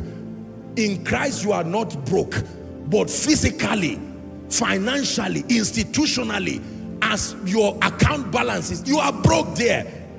Come to terms early and say there is a way out. I need to get out of this shame and not keep giving excuses. If there is someone in my same Nigeria and God is exalting that person, Lord, I take responsibility. The blessing is upon me. I need to give evidence to it through my obedience. Go and get the right materials. As you are listening, light will come upon your spirit and that grace may even be grace that is already there. Suddenly it is activated and someone says i've been looking for you for five years. Where are you? God said i should send you 10 million. And you receive that 10 million and say it's a lie. This ah, then it happens again. Then it happens again. Then you know that the grace has truly come and you know that the grace is working. Let me tell you the truth. Everything that is not yet working in your life can work if you want it. Can work if you want it. Can work if you want it. Can work. Favor, power, grace, influence, results can work if you want it. Koinonia, are we learning? Mm. Can work if you want it can walk if you want it. Can walk if you want it. I read a scripture about God anointing Jesus with the Spirit without measure. And I said, I, I, I read about Oral Roberts and the way he would lay hands on over three to 5,000 people one by one. And I said, well, I respect him and I thank God for the way God worked with him. But I don't have the grace to start laying hands on everybody one by one. You see, I may die young doing that. And I'm not ready for that kind of thing. But I now read the story of Moses. That from one place he stood and the spirit upon him fell on 70 people without him touching them one by one. I said, this is a dimension. It's still the ministry of the spirit. It's the one your faith chooses. If, if there is an opportunity for ease, why not? Then I also read about Jesus. He breathed on the people and said, receive ye the Holy Ghost. I said that means there is an, a more efficient way of communicating spirit things. If you have an opportunity to lay hands, that's wonderful. But that you can speak from one point. But that grace was activated. It multiplies through light. Man of God, you are called into the healing ministry truly. You are called into the prophetic ministry truly. Have you studied the prophets in the Bible? Have you studied them? Don't just say a prophet laid hands on me. Have you studied the prophets in the Bible? There were, there were ungodly prophets in the Bible. Prophets of Baal, there were godly prophets. Which one have you studied? How do you know the difference? How do you know a familiar spirit is not using you? Are we together? Businessman, you want the grace that builds. Have you studied the life of Solomon? Solomon built. Have you studied the life of Joseph? Joseph built. Have you studied the life of Joseph of Arimathea? He built. There were many people who built in the Bible. You have not activated that investment of the Spirit, that dimension of grace by light. I'm praying for you whatever is fighting your access to light, whatever is stopping you from having the discipline to sit down and study till light comes into your spirit, I command that resistance to leave you now. Do you know? Look at me. Let me tell you the truth. There are many believers today who don't even have a good Bible, whether electronically or otherwise. There are men of God who only have a Bible that was given to them as a gift. Some of the chapters are torn. Your respect for light determines the degree of grace that works for you. Your respect for light. Your respect for light. Your respect for light. Another person will not be submitting himself to scripture laboring with prayer and fastings and you are there watching movies from morning till night till forever and you want to walk at the same level of grace. God is not mocked. Ladies and gentlemen it says do not be deceived. God is not mocked. Whatsoever a man soweth are we together you can sow to the spirit and of the spirit reap life everlasting you can sow to the flesh and of the flesh reap corruption by this teaching, God is telling someone, wake up. Don't be shouting and saying, I have a great destiny. You will wake up to make it happen. When you wake up, then you sit down, open up scripture. Lord, you are sending me as a healing evangelist to the nations so that I don't become a casualty to myself. What are the keys to the healing anointing? Get books, Healing the Sick, Charles and Francis Hunter, books by T.L. Osborn, books by veterans of healing, not talkers of it. Men and women whose lives embodied authentic healing ministry. Stay with it. Camp with it. Camp with it until light breaks forth. And I tell you one day it is your own books that people will be drawing from they will say because of the spectacular investment upon this life it is important that we come and read it is important that we come and study Many times people see me and say, Apostle, write books now, write books. And I tell them, wait, there is something I need to have to enrich what I want to write. I don't want to write nonsense. I want to write something that can bless a generation. That when we tell you this is a way God has used our life to show, you will walk on that way, on that path, and find life indeed. Spirit of revelation.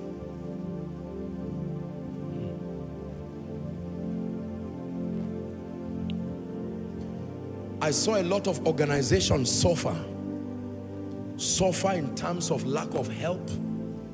And because at the infancy of ministry, I also suffered it. I said, no, it's not a good thing to be anointed and to be incapacitated financially.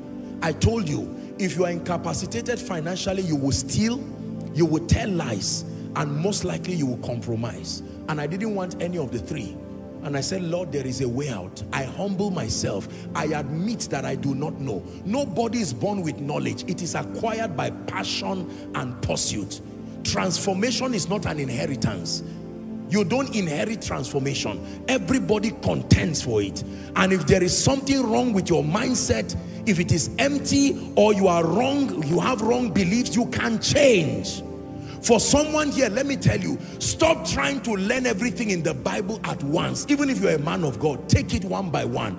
you can dedicate the month of July since you see that the healing ministry is part of the requisite graces, the signature graces you will need. Why don't you camp with the healing ministry? Use the month of July. Your personal study should be the healing ministry of the spirit. Get materials, get videos, get scriptures.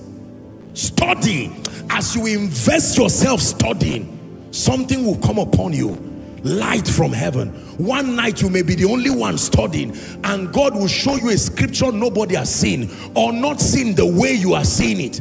And that becomes the anchor scripture for a global healing ministry. Who is God speaking to? Shamalandoskiba pray in the spirit in one minute. Pray in the spirit in one minute. Just do what I'm asking you to do. Pray in the spirit in one minute. Sabaretaba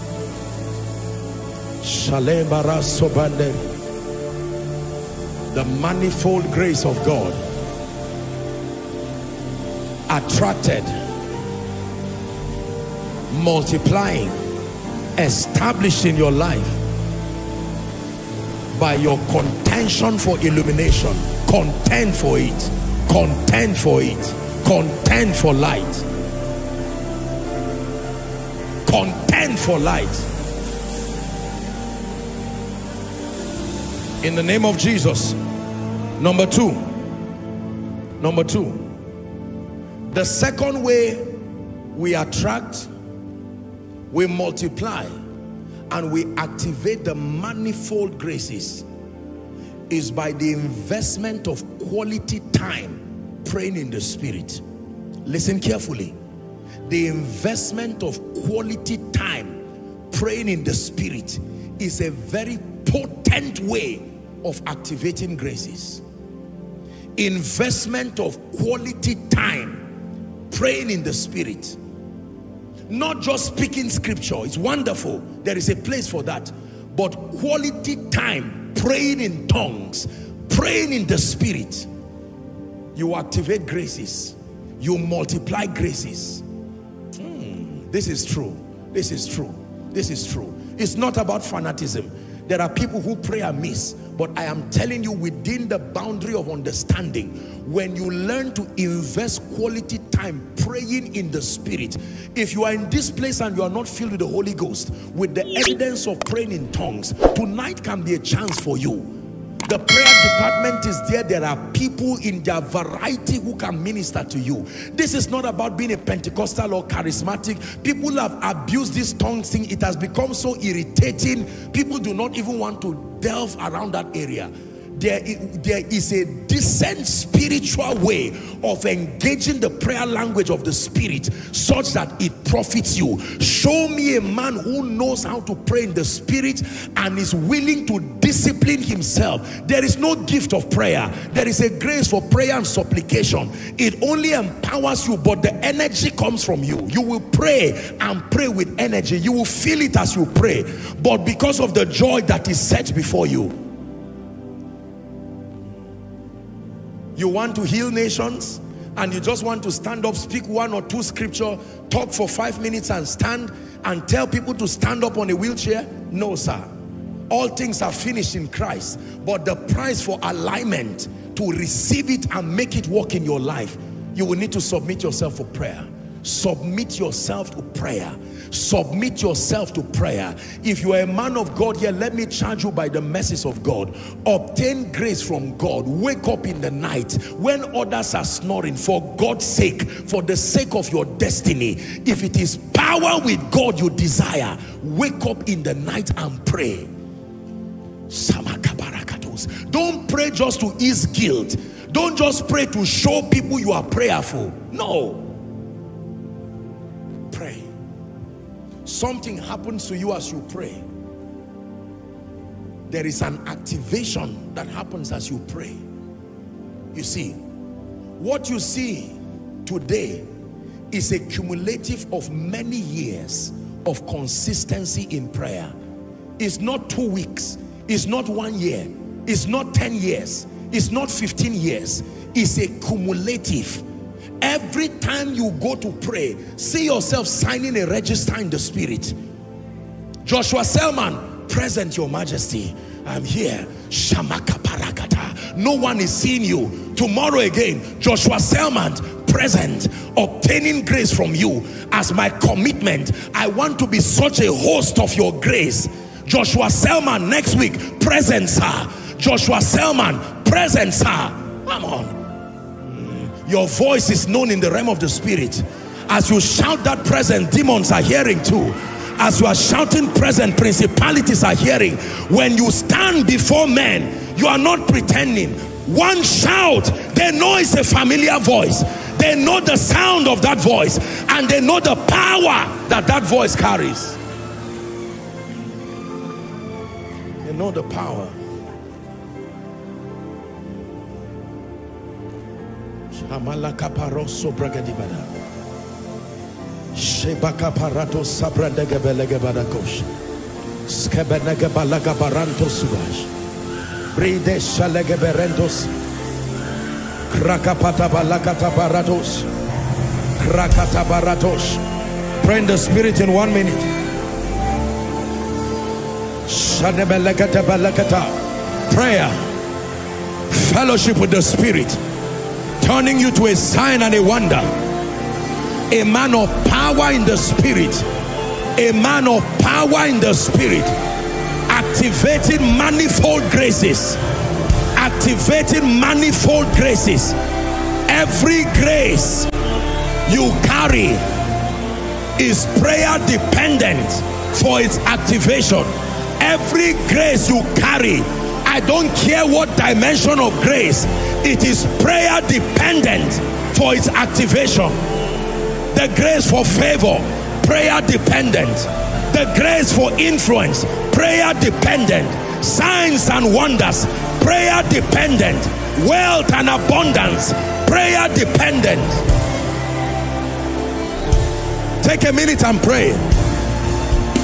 Sign that register in the spirit building yourselves on your most holy faith praying in the Holy Ghost. You want God to give you the keys of nations. You must submit yourself to prayer. My sister submit yourself to prayer. My brother submit yourself to prayer. Man of God this laziness spiritually you won't go far that way. Takes prayer someone pray someone pray Someone pray. Someone pray. Elabaka parakata sabrakatesh. Rakata brakate belakate parus. Stewards of the manifold grace. Businessman pray. Businesswoman pray. Pray. Consistently pray. Consistently travail. Non-pretentiously pray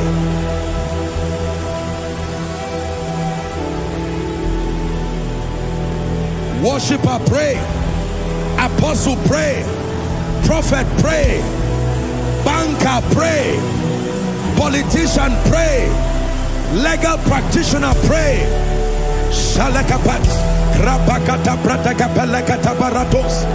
prayer with fastings. Pray. Prayer with dedications. Holding on to the altar. Generating power. Multiplying grace. Generating power. Apostolic power. Generating power. Multiplying grace.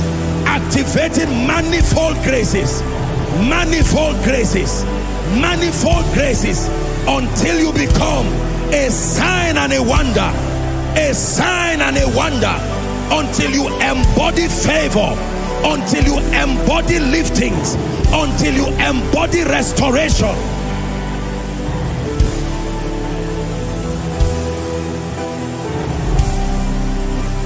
One more minute, you are praying.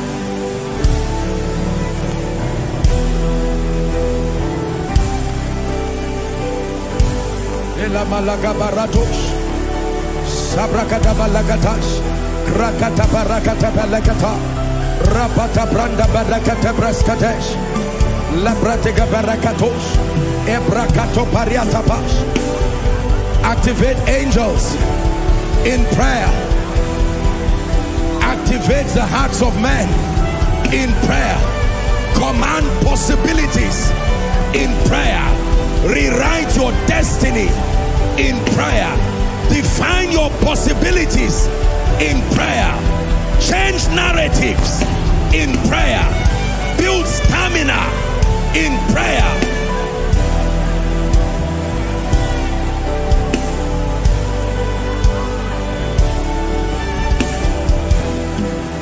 Rakata. Labranta barakata kata balaka pariakata. Tear down the walls of shame and reproach. Tear down the walls of human biases and limitations. Tear down the walls of sentiments and prejudices.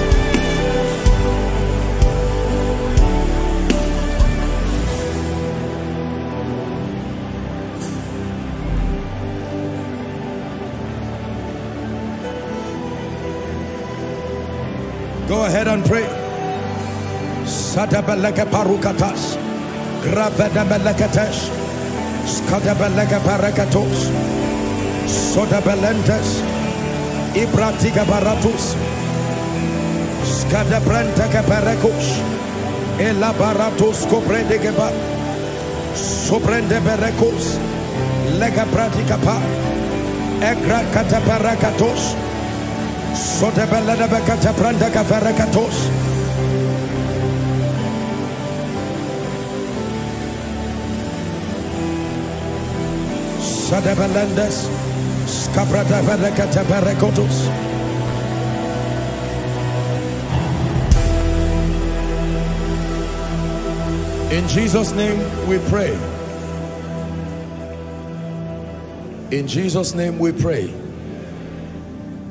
In Jesus' name we pray. You see, let me tell you the truth. Many people talk about prayer, but I submit to you, very few people really understand prayer. Many people, it's a common thing in our world to talk about prayer, especially among ministers of the gospel. Chances are excellent if you don't talk about prayer, you may not be seen as a serious man of God.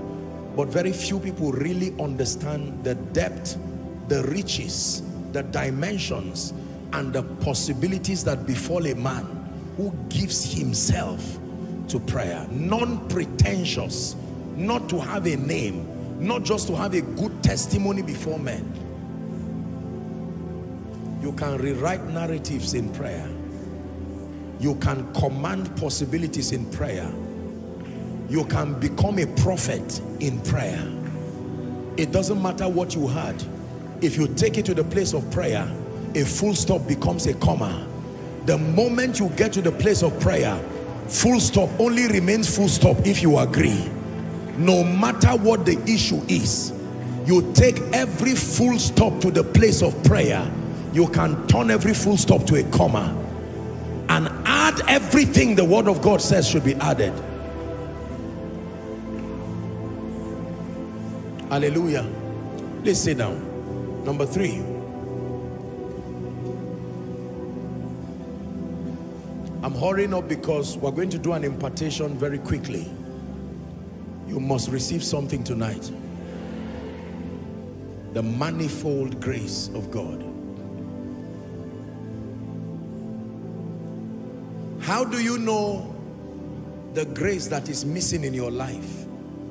Either the grace, the dimension of grace that has not been received yet or has not been activated yet because there is a limitation to the command of your results in that area. The limitations in your command of results is proof that the grace is either not there or it's not been activated. Listen again. How do I know? How do I test the presence or the absence of a grace?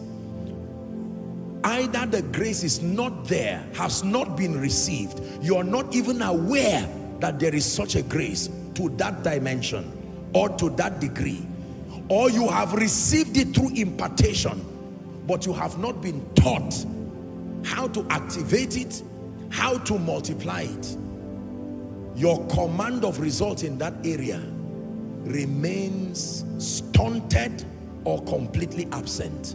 That is how you know a grace is not there. Apostle, nobody seems to favor me. I tell you by the integrity of God's word, it is because that grace has not come. Just because you shouted at a miracle service and fell down while shouting, the grace may have landed, but you did not war with it. You didn't activate it. How many of you know how a groundnut, a groundnut, you know, groundnut, when you, it's not, you don't pick the seeds like that. You have to break that shell and bring it out. So if I give you a bag full of groundnuts, are we together? I can give you that as a gift, but you are the one who will go through the labor of deshelling it. Am I right on that? The same thing with corn. When you pluck corn from the farm, it is not immediately edible. You have to peel it, then maybe roast it or cook it or whatever you want to do with it or turn it into flour and serve. That one is your own responsibility. I want you to look at the various areas in your life before I give you the third key. The area of barrenness is the area of the absence of grace. The area where you have barrenness of results, believe me, it is the area where there is absence of grace or you have not activated the grace you have received in that area. Some of you love God but the one cancer destroying your Christian life is you are owing everybody because you are perpetually in lack and want. You have integrity, but this area of finances has disgraced you, embarrassed you, brought reproach.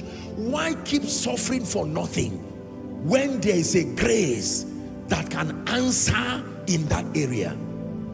Are we together now?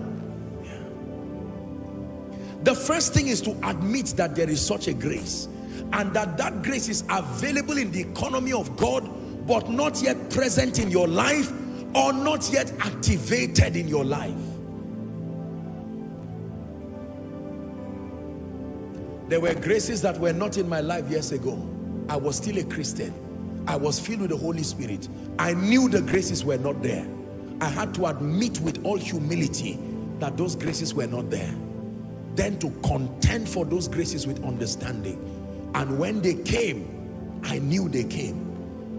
And now that I've learned how to activate and multiply them, mine is to obtain the doing grace, to keep walking in keeping with the principles that sustain those graces. And there is no power in hell that corrupts the testimony of a man who has received these graces in ever increasing dimension and has learned the dynamics of maintaining, activating, and multiplying it.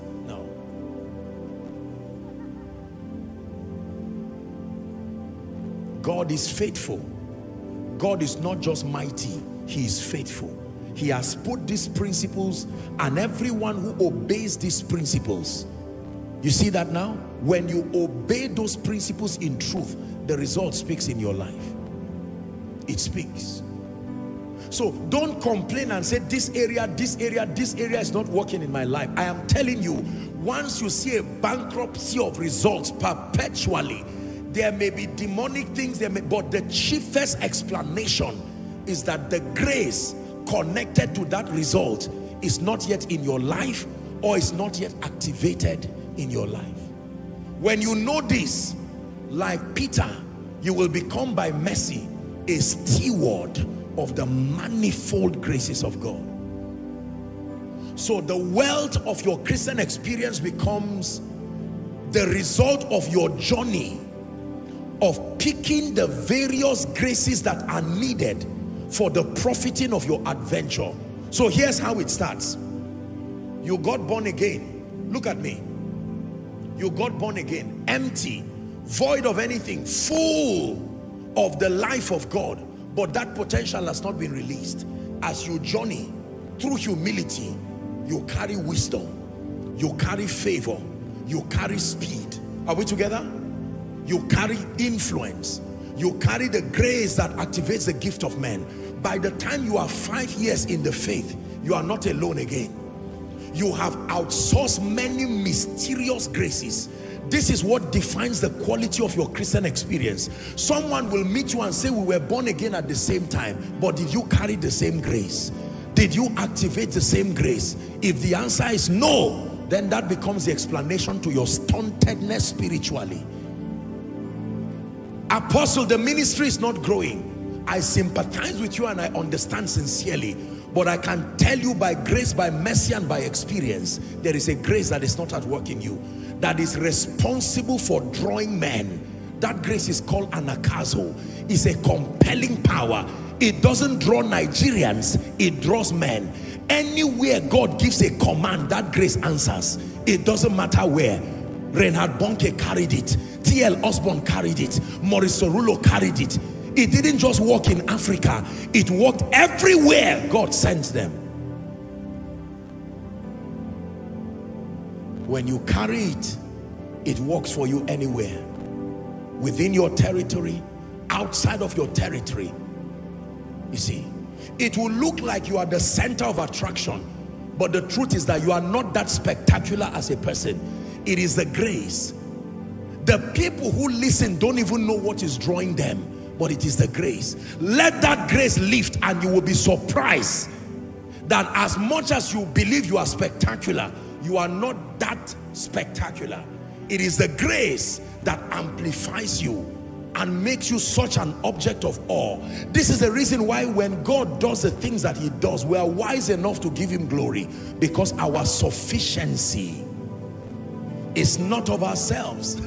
it is of God who has made us able ministers, not of the letter, but of the spirit. For the letter killeth, but the spirit gives life. Are you ready for number three? The third key for receiving, multiplying, and even activating the manifold graces, listen carefully, is impartation from the stewards, the carriers of that grace. Impartation, impartation, not from everybody, impartation not from every Christian. Impartation, not from every man of God. Impartation, not from everybody who wants to lay hands on you. Impartation from proven stewards of that grace. Impartation from proven stewards of that grace. The grace that you seek, the grace that you thirst for, the grace that you hunger for, that if added to your life, you will now abound in that grace also. It must be received from stewards who have that proven, that grace is being tested and it's been proven to be present with them. Hallelujah. As much as I'm an anointed man of God by the privilege of God's mercy, it is not every grace you need that I can impart upon you. I am on a journey myself to accessing certain superior graces that would be important for this ministry, for my life at a higher dimension tomorrow. Are we together now? This is the reason why God gave a distribution of graces across the body. There is nobody who single-handedly answers to all grace as an individual. Only the Holy Ghost can do that. And because the Holy Ghost lives in men and he operates that grace through men dimensionally, you can benefit from all grace. You should benefit from all grace. But until you outsource those graces, when God calls you, because of the nature of your call, there are core graces, foundational graces that are connected to your call. But in addition, it is your responsibility through wisdom to outsource other dimensions of graces that are profitable for your own life and your Christian adventure for your sake and the sake of those connected to you. When God called me, there were certain graces he gave me. Among them, favor was not part of them. Among them, speed was not part of them. Among them, influence was not part of them. There were graces that came answered at the point of my call. But the Spirit of God opened my eyes to see that God produced that limitation so that I will learn God on the journey to receiving those graces. Everything will not come at the beginning of your call. God will guide you. Something happens to you in pursuit of those graces. You will know God better. You will respect the formation of his economy better. If I had all the graces, I probably would not respect a Reinhard Bonnke. I probably would not respect the sacrifice of a T.L. Osborn. I probably would not respect the grace of a Bishop Oyedepo or Papa Adeboye. But because of that limitation, God opens your eyes to see possibilities that are on earth but far beyond your current horizon. And then you pursue with hunger you pursue with passion you pursue without shame. Not human worship not self-worship but it is how he works. He's invested in grace his grace in men. They are called stewards of the manifold grace stewards custodians caretakers of the manifold grace and when you seek and find then you receive those graces when God called me the grace for long life was not part of it. But I knew that I needed to live long, not out of fear, but because the demands of my assignment and the people connected to me will need it. And I said I must take the responsibility of pressing. Pressing. And when I found that grace, I remember that time, I returned to Zaria in a hurry and I told my people I had received an impartation of that grace supported by the truths of scripture anyone can wish you long life but only the person who has lived long can actually impart the grace for long life did you hear what I said anybody I can speak to your life as a man of God and it will work but the person you meet who is 100 years old 120 if he says kneel down kneel down you can receive my prophecy later, but kneel down. Hundred year old hands on your head. You are joking. Do you know how many things you need to survive to be 100 years old? And yet there are people on earth who are, are that old. And some of the people around them don't have the grace till the people die. They just know this man has lived long. Die now, let's share your assets. That's all they're seeing. Whereas someone else is saying God. And the man who is 100 years old was a soldier. That means he fought wars. And yet he did not die. He refused to die. Every time our father comes here, Daddy Onubogu, you see how I accord him a lot of respect. The man has lived long. He's about 86 now. The oldest that I know. I've met a number, quite a number. The people who prayed for me were about 100 and you've heard the story. 136. 36. 136. When the wife of the man said she wanted to pray for me again, I said, pray, oh, please pray. The mama led me to a room. She said I should come. We entered and she was showing me the photos of her husband. That was the husband of her youth. And when it was time to pray, we knelt down. The woman took off her shoes, placed her feet on the ground, and was shouting there for the next 15 minutes. What do you think I was doing? Amen. It must be so. Because I'm going to fly many times in this wicked world. It must be so because there are arrows that fly by day, noisome pestilences, the wickedness of men as you rise. That grace. But I did not just go back to say, well, I fold my hands, an old woman has prayed for me. It doesn't work that way. So you go to scripture. Are, are you seeing how it works now? What has the Bible said? Now that the grace has come, how do I activate it? I shall not die, but live and declare. That's why I'm living and declaring. If you are not living and declaring, you may receive that impartation and something will still happen to you. Number two, I choose life. Death and life are in the power of the tongue. That's why you see I said I would not call my name myself that, that thing in that hymn. Mm -mm. because my words are not empty. I believe my words, so I will not be careless over it. Not words, my words. They are not empty. I know they carry power. That is the reason why I'm telling someone you are blessed. In the name of Jesus Christ, I say it upon you, you are blessed. I say you are lifted. I say help us come to you. I say doors open for you. In the name of Jesus Christ. I say it again, you are blessed. You are lifted. Help us come to you. Oh, let ministry be easy for you. You access resources supernaturally. Please be seated. Impartation. Now look at me.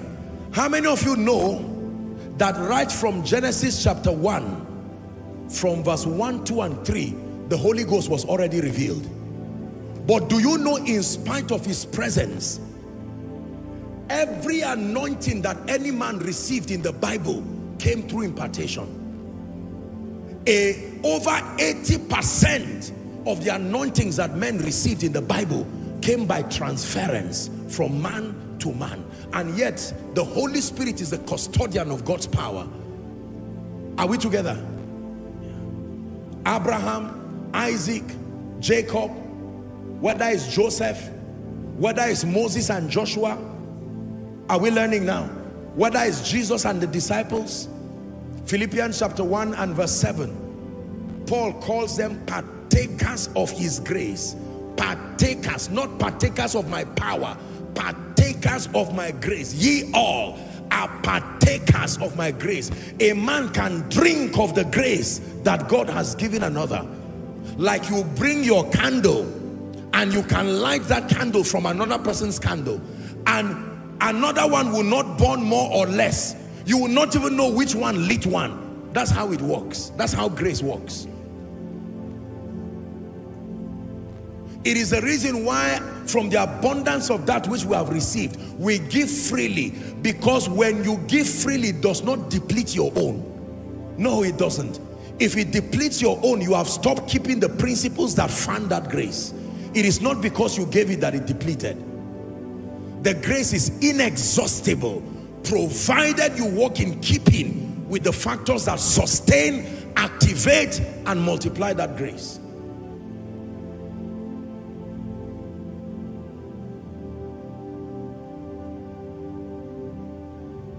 Now, let me tell you something. Listen carefully. I've taught you that the greatest hindrance and I want to say this.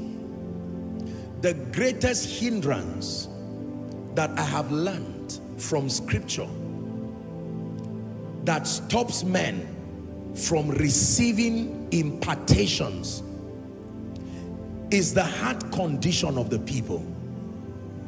The heart condition of the people. But more importantly, a heart condition of dishonor. Please listen to me. Listen to me. We're about to pray. There's going to be a mighty impartation in this place now. The heart condition. Listen, please. It is one thing for you to have proximity to a grace, a vessel, a steward of this grace. But there are rules to drawing graces from people. Are we together now? Among them, chiefest among them is your motive? Why do you want the grace? That question why must be answered. Why do you want to receive the grace for prosperity? Why do you want to receive the grace for signs and wonders? Man of God, why do you want the grace for influence? Why do you want the grace for crusades to pack full stadiums and theaters? Why? If you cannot answer the question why, regardless who is around you and regardless whatever spiritual activity, I tell you, it is a major leakage in your spirit if you cannot answer the question why. When I stood at that crusade ground, watching Reinhard Bonke, God sees my heart. It was not just to make a name. I was not just seeking to be a powerful man of God. It was beyond power. As I looked at that crusade ground, I saw souls. I saw people in need. I have read many times that there are more people on earth and very few people, the percentage of Christians. I knew that God was looking for more laborers and it would be an honor for me to be a more effective witness, a more effective laborer. Everything I have desired from God in my life today, everything, and I stand before God, may he forgive me if I'm lying. There is nothing I have desired from God today or desired from vessels, stewards, that is just for personal gain, just to make a name. I want everybody to know that this man is anointed or this man carries favor. Every time I pray, I ask the Lord to purge my motive because I'm human. Who knows when maybe these things can creep in.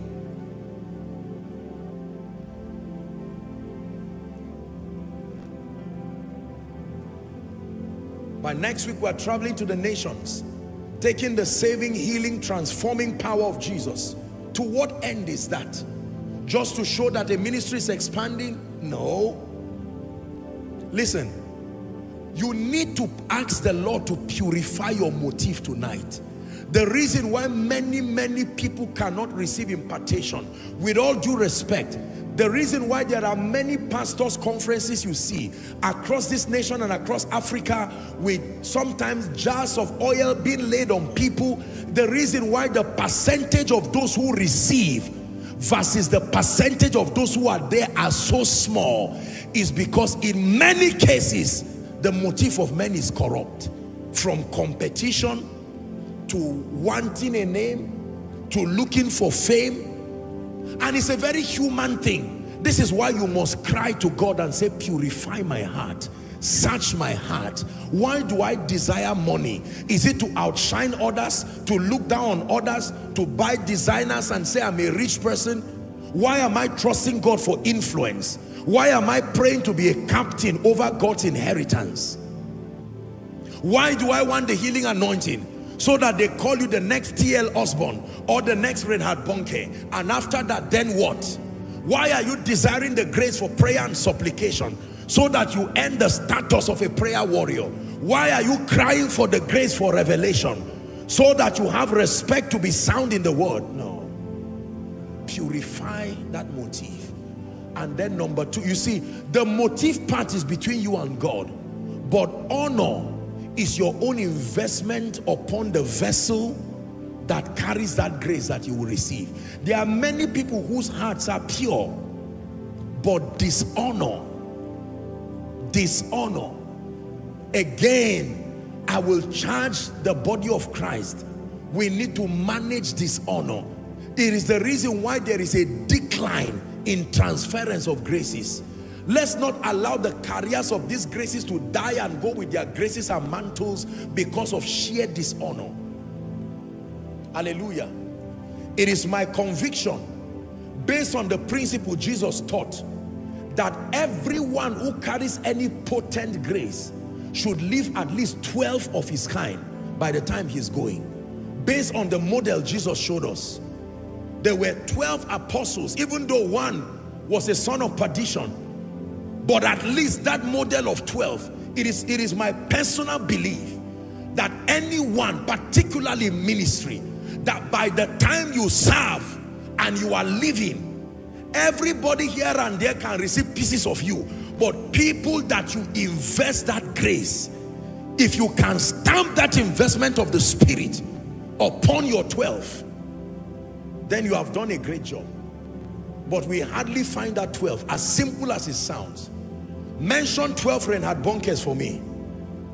Mention 12 T.L. Osborns. I'm not talking of staff who worked with him. I mean people who embody that grace. Mention 12 Elishas for me. Only one. There were many sons of the prophet, but there was only one Elisha. Do you know that there were many other apostles, the Bible seems to be silent about their own exploits. Why did they become so silent like that? Why are we just talking of Peter, James, and John? What of the remaining? They were not notable enough. I know Bible history captures some of their exploits, but some of them were shockingly silent, yet mentored by Jesus. Let me tell you this. If God grants you grace to be under a very anointed man, your prayer every day should be, Lord, help me conquer dishonor and purify my heart. Are we together? Help me conquer dishonor and purify my heart. Till today, till tomorrow, every time God grants me the grace to stand before people who are higher carriers of grace than me, world over, my heart is panting, panting to honor them. My eyes does not even care whether you say this one has limited whatever that is none of my business. My eyes is sent like a flint. There is treasure that is locked up within them. It is not human worship. Hallelujah. Praise the name of the lord. You see if you never understand this you will not rise oh you will not rise at all. You will be stunted shamefully. There were times before we started doing crusades to this degree. There were certain ministries and i'm saying this not to brag because i'm i'm teaching you secrets. I would sow into certain ministries sow into certain mighty meetings that did not even concern me. Make sure that my seed was part of it to honor Jesus and in honor to that grace. Our world today is full of people not doing anything and yet talking about people who are making waves for the kingdom. It is an attitude if we don't change, we are going to go down the drain. A Billy Graham, a Reinhard Bonnke, who can speak over 20,000 people, 50,000 people, 10,000 people, it would be foolish to say crowd does not matter. You are joking. At a governmental level, when you hold a program of that magnitude, it registers the value of faith in nation building. There are certain decisions that can no longer be taken because there are evidences. You see, ignorance sometimes, bah, is not a very good thing. You need to rise to certain levels of influence to know why God trusts men to make certain statements at a national and transcontinental level. It may not speak to mean people for want of word, but some of those events directly tell in houses of parliament. There are certain decisions that it will stop because there is influence enough to show the value of faith that it is not a nuisance to civilization. Shadrach, Meshach, and Abednego. Is that in your Bible? Because they came out of fire, it didn't lead to any crusade anywhere, but it affected the king directly. And a policy without consultation came out of that experience immediately. Daniel chapter 3, the two final verses before God promoting them. I can't remember, was it 30 or something? Look for the final two verses of Daniel. Daniel chapter 3, I believe. Then Nebuchadnezzar spake and said, watch this, as a result of that experience, sometimes when God empowers men to hold mighty meetings, this is what God is looking for. He's not just looking for the men alone. He's speaking to kings and institutions and the environment. I am still God and that faith still carries value even in nation building. This is what Nebuchadnezzar did. Blessed be the God of Shadrach, Meshach, and Abednego, who had sent his angel and delivered his servants that trusted in him, and has changed the king's word and yielded their bodies, that they might not serve or worship any God except their own God. Next verse. It says, Therefore, I make a decree. How did that decree come? Because of the exploits of the saints. I make a decree. How many of you know that from a global perspective, the world makes data-driven policies? Did you hear what I said? Data-driven policies. Whether for or against the church, there has to be data that shows if you are going to say the church should be left unharmed within a territory, At a sentimental level, you say, I'm a Christian. But at a governmental level, leaders lead by data-driven decisions. What is the ratio of believers within the territory? How has their conduct translated to transformation? This is the true idea of revival. Go and study everywhere that God moved across a territory. One of the reasons why the revival was sustained was because it got to those in power and they use that influence with data-driven evidences, evidences of transformation, evidences of rehabilitation, evidences of character and conduct as a result of the crusades. And it brought glory to the name of the Lord. No territory will be changed until there are great meetings that happen in honor of Jesus Christ with corresponding evidences, change in character, increase in moral values. Are we together? Crime rates reducing.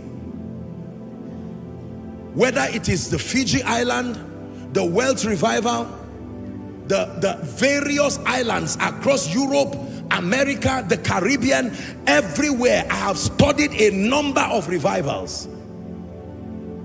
At a, at a national level, nobody takes revival serious until they have data supported evidences of transformation from faith. So when you see God doing what he's doing, he's preserving a heritage for his name, and preserving a heritage for our children and our children's children. I'm praying that there will never be a generation where there will be data proof that Christians are a nuisance in this territory. The reason is because they sampled 1 million armed robbers and out of them 500 of them are Christians and they say behold look at it data driven evidence that the crusades are a waste of time based on this data we cancel crusades in stadiums. This is how the governments work. I'm telling you how intelligence works at a policy level. It is because most believers are very nuclear and narrow in their thinking. They do not know how the purposes of God is established territorially. You do not go and speak the language of the Bible in parliament you must understand the language of the Chaldeans and know how to present empirical evidence that Jesus is Lord.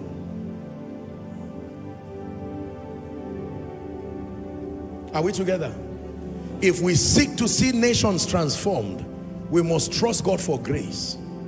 That it will be recorded that from the time this organization, this ministry, did this program or this crusade or this sensitization workshop, crime rate has reduced by 50%. Prostitution has reduced by 25%. Data-driven evidences of the power of God.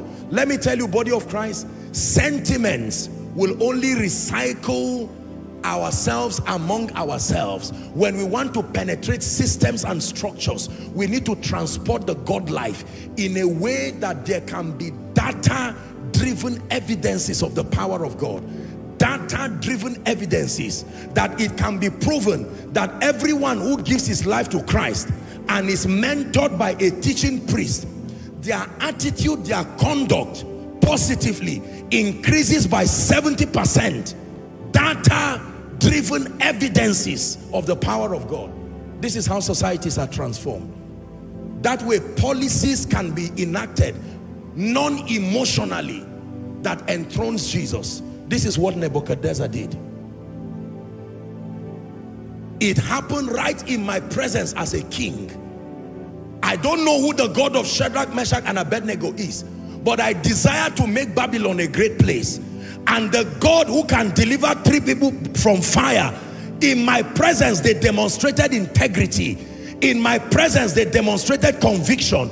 Even in the midst of fire they still respected me as a king. Whoever is that God they serve I want Babylon to serve that God. Therefore I use my influence as King Nebuchadnezzar I place a policy that anyone who talks against this God they will be cut in pieces and their house will be a dunghill because from research not a sermon I have found that there is no other God who can deliver at this sort.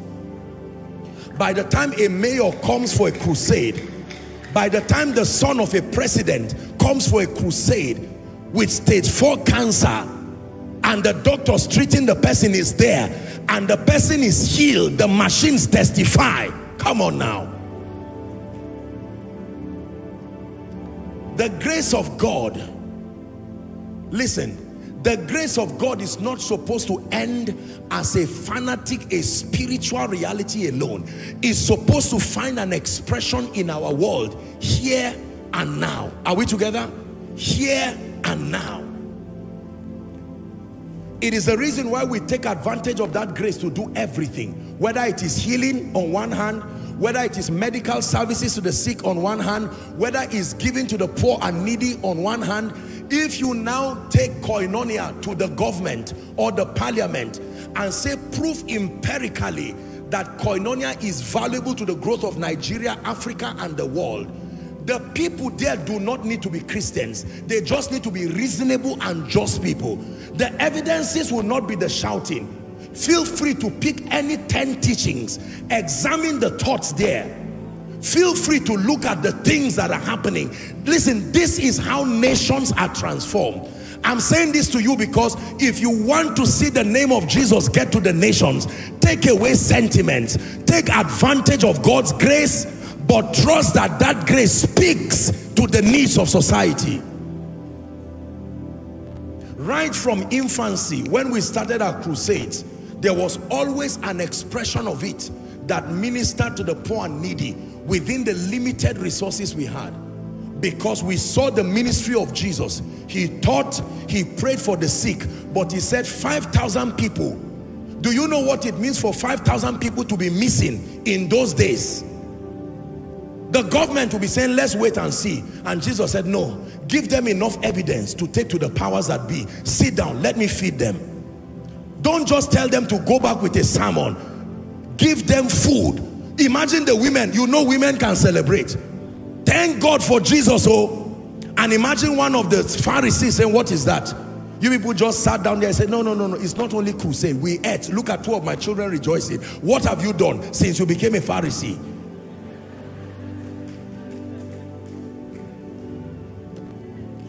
May God empower you. I'm praying from the depth of my heart. May God empower you to be part of those that will bring evidence to the potency of the Christian faith.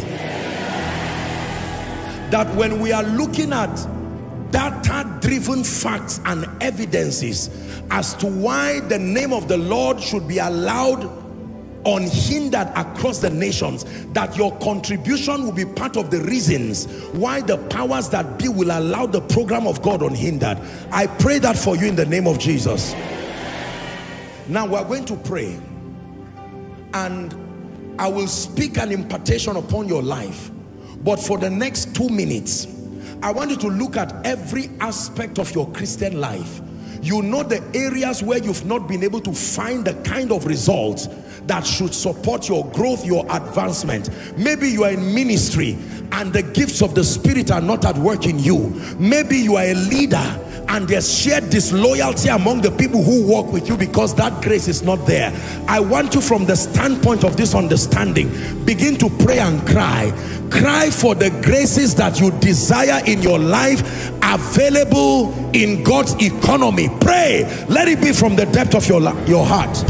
For some wisdom, for some favor, for some power, miraculous power, for some access to systems and structures, access to governmental authorities.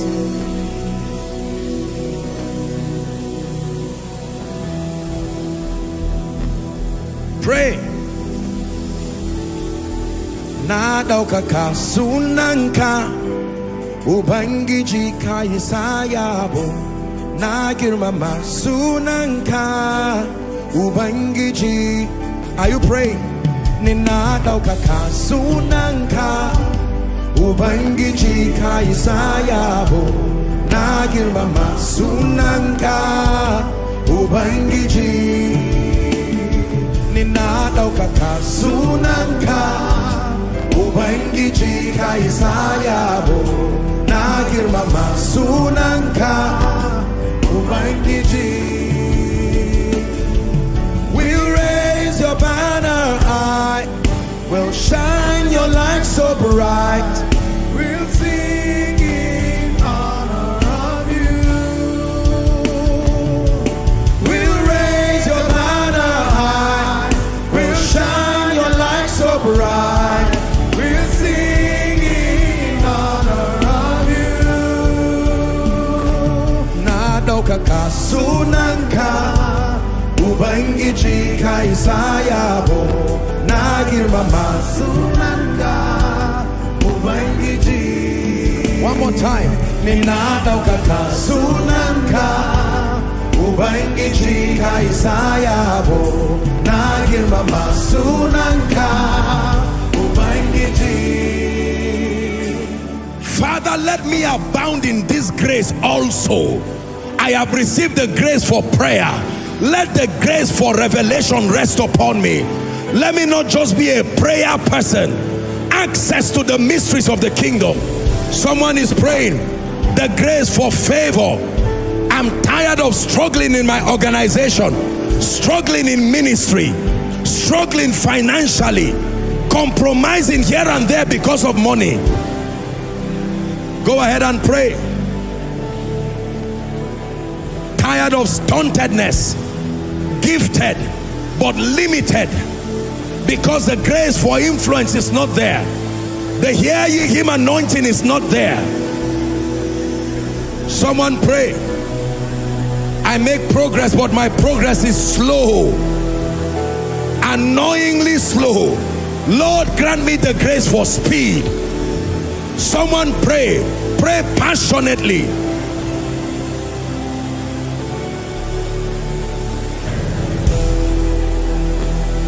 Passionately.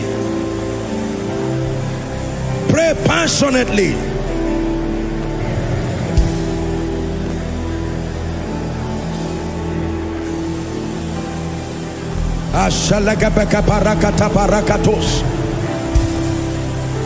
The manifold grace of God at work in your life. The manifold grace of God. Financial grace. Leadership grace. Grace for prayer. Grace for revelation. Grace for influence. Activating the gifts of man. These are the graces that give you an edge in life and destiny. These are the graces that give you an edge in ministry, an edge in business.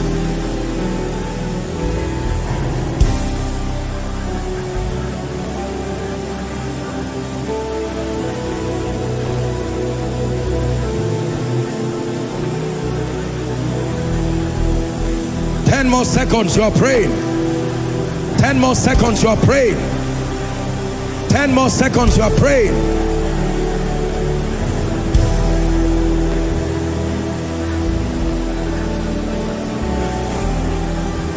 Ten more seconds, you are praying.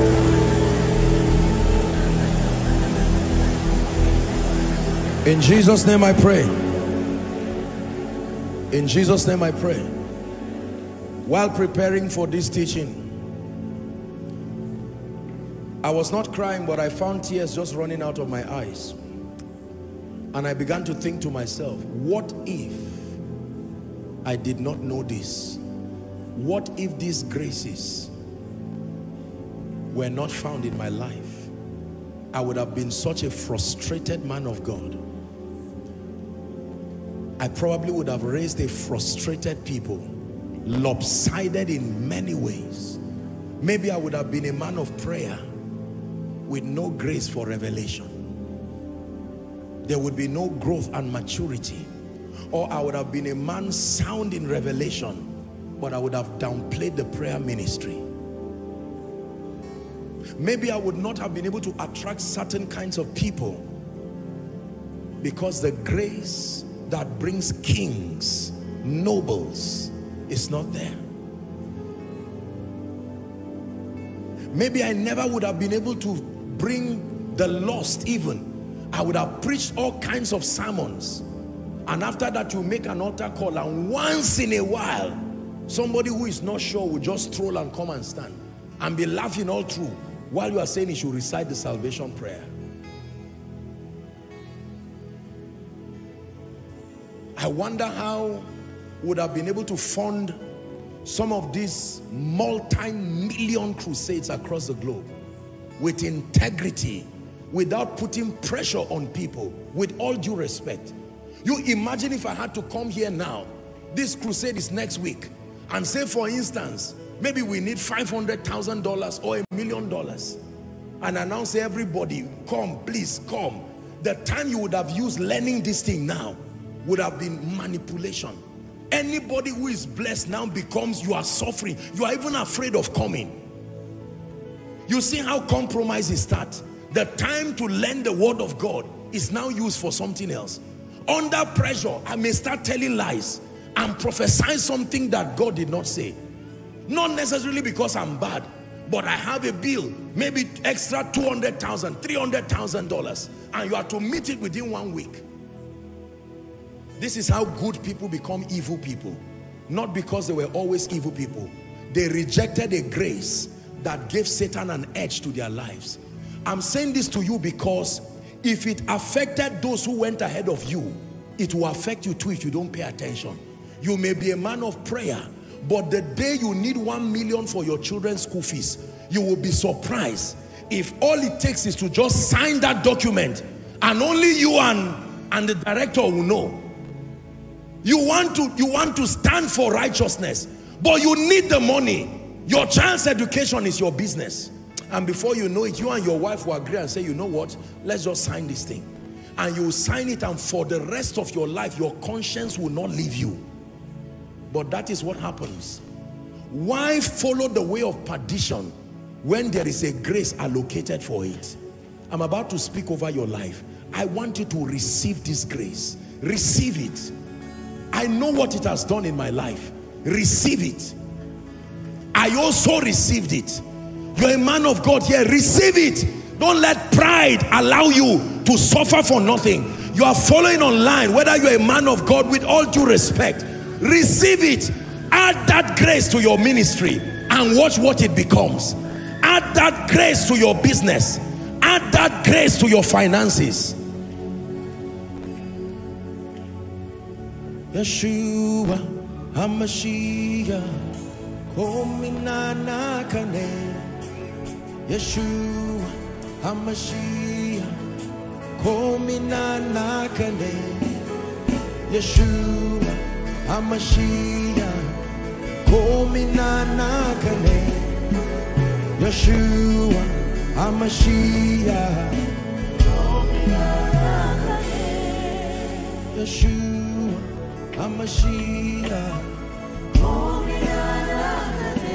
in the name of Jesus, I pray for anyone here. You have struggled with prayer. It's something you can't tell anyone. But every time you go to pray, you are sleeping, you are snoring, you watch people pray, generating power. But the truth is that that grace is not yet on your life. I pray for you right now. In the name of Jesus, genuine, authentic grace for prayer, let it rest on you now. Let it rest on you now. Pastor, let it rest on you now. Businessman, let it rest on you now. The grace to wake up and pray. Pray yourself to greatness. I release that grace upon you now. Number two, laziness over the study of scripture. There is no book you have brought that you've been able to read. You've not been able to read one book of the Bible. You are a sincere Christian. It's been a struggle. It's not by trying. Once that grace is not there, you will struggle. I pray for you. Passion for the word. May it consume you. May it consume you. May it consume you may it consume you in the name of Jesus Christ.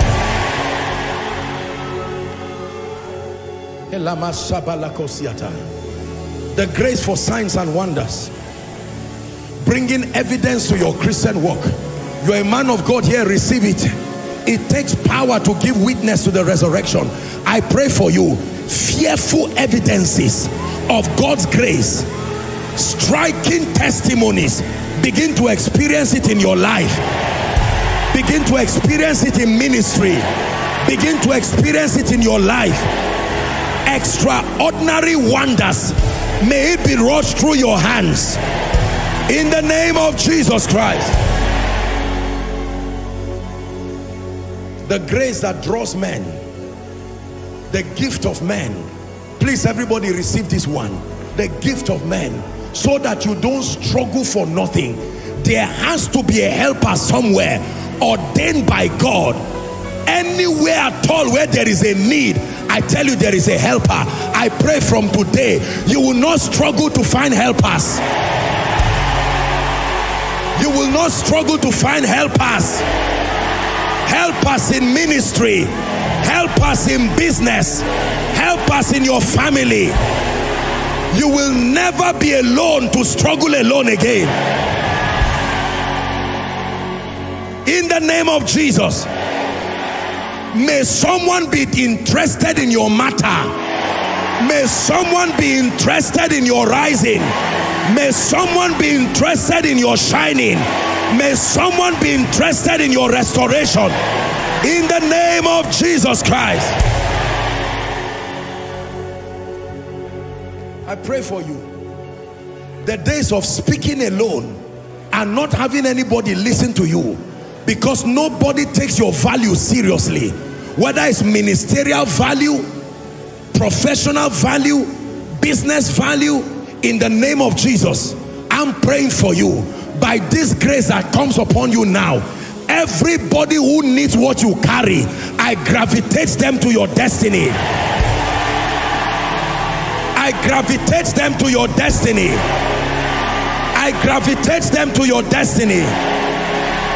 In the name of Jesus. The Bible says doth not wisdom cry? I'm praying for you. The era of foolish decisions trouble making decisions destiny pegging decisions by this impartation of wisdom may you begin to make superior decisions superior decisions. Decisions one decision that you will make you will leap five years forward. Five years forward. Five years forward. In the name of Jesus Christ. I decree and declare favor. Whether you go out whether you come in whether you are in Nigeria whether you are outside Nigeria may that favor compel men to help you speedily. Compel men to help you speedily. Let me pray for your finances. In the name that is above all names I'm praying for you. May God do something in your life between now and the end of July that will change your finances. Honestly if you have the faith to believe this may God do something in your life. May God raise a man. May God bring an idea. May God make your proposal pass through. By any godly means arise to a new financial status. Rise beyond the realm of begging. Rise beyond the realm of borrowing. I say it again rise beyond the realm of begging. Rise beyond the realm of borrowing. You will lend to nations in the name of Jesus Christ. May my God give you treasures of darkness and the hidden riches of secret places. Let me pray for you. We're in a season where Satan seems to be cutting the life of people short. When people are just about to emerge to a new layer in ministry and destiny they just die like that. I'm praying for you in the name of Jesus you shall not die. Receive it or you shall not die. Not by sickness not by accident. Not by witchcraft not by oppression. Anybody cooking up enchantment against you let it backfire back to them. In the name of Jesus Christ. I say it again. Anyone fraternizing with hell that you must die this year, their evil returns back to them. Hallelujah.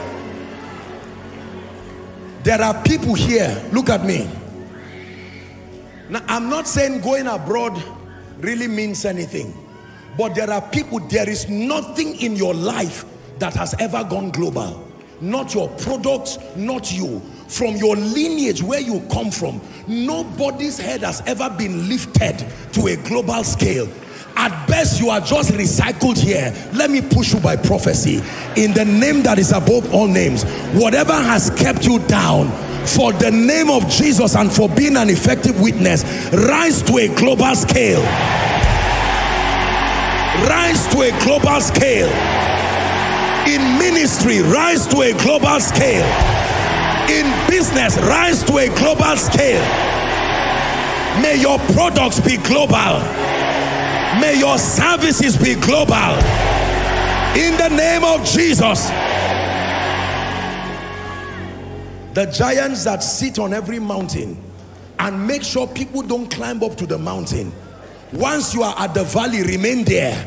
But once you want to climb up to the mountain, they say even your father did not climb there. Your mother did not climb there. I pray for someone again. In the name of Jesus, for the sake of his majesty, you will be a record breaker. For the sake of his majesty, you will be a record breaker. I, I release that grace upon you. Listen, God who took me from nowhere and by his mercy took me where I am today. I pray for you. May God announce your names to kings, announce your name to governments, announce your name to captains of industry. In the name of Jesus Christ. Everything that fights your influence, fights your relevance, by this grace it dies here tonight hear me every man of God connected to this grace every true son and daughter in ministry I pray for you for the sake of his majesty rise to a global scale may the nations demand your grace may they honor Jesus in your life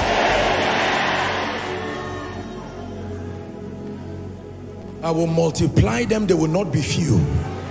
I will glorify them, they will not be small. I say it again, be multiplied. May you experience the glory of God. Now hear me, hear me. We're wrapping up. My apologies for stretching you, but you'll be surprised what will happen to you. Listen, can I tell you the truth? Not everybody has been mandated to help you. Stop looking for everybody to help you. This is not how it works. And don't choose the person to help you by yourself. You will make a mistake. You will choose in the flesh. But you need one person. I can point strategic people who appeared in my life and brought years and added them to my life. I've seen my own. May you see your own. In the name of Jesus Christ in the name of Jesus Christ koinonia go forward go forward go forward go forward advance leap over walls run through a troop in the name of Jesus Christ. By your reception of these manifold graces I'm praying for you. Results you have not seen from January till July begin to see them from this night. Results you have not seen from January till now I say to you again begin to see them from this night. Fearful results in ministry. Fearful results in business. Fearful results in family.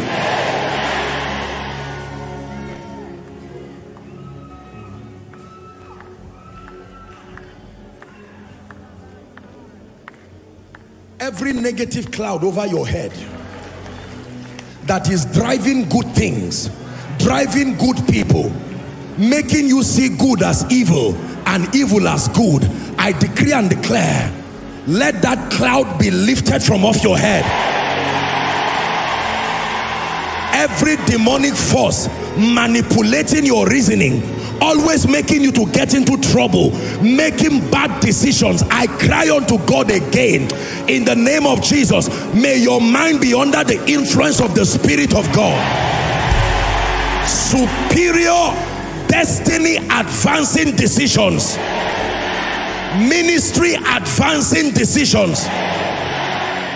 Finance multiplying decisions. Grace multiplying decisions. My final prayer for you tonight. It is not a sin to be celebrated it is only when your heart is derailed through it some of you nobody has ever clapped to say kai I see the hand of God in your life. Let me pray for you. May my God do something between now and the end of the month that will bring strange celebrations to your life. In the name of Jesus Christ. Say after me in the name of Jesus. I am a steward of the manifold grace of God Say it again. I am a steward. I am a recipient of the manifold grace of God. I activate the graces by faith. They begin to speak in every area of my life. In the name of Jesus Christ. Amen.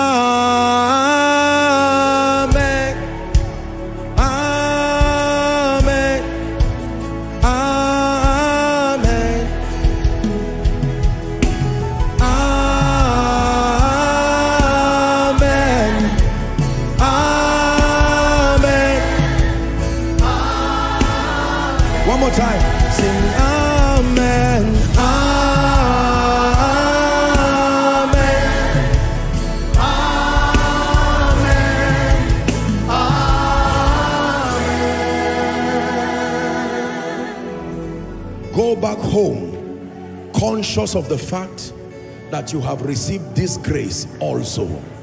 Go and write down these graces, pray them, connect scriptures to them, engage certain teachings that are connected to those graces. And I assure you by God, you will marvel and wonder at the kinds of results that your life begins to produce. Have you been blessed tonight?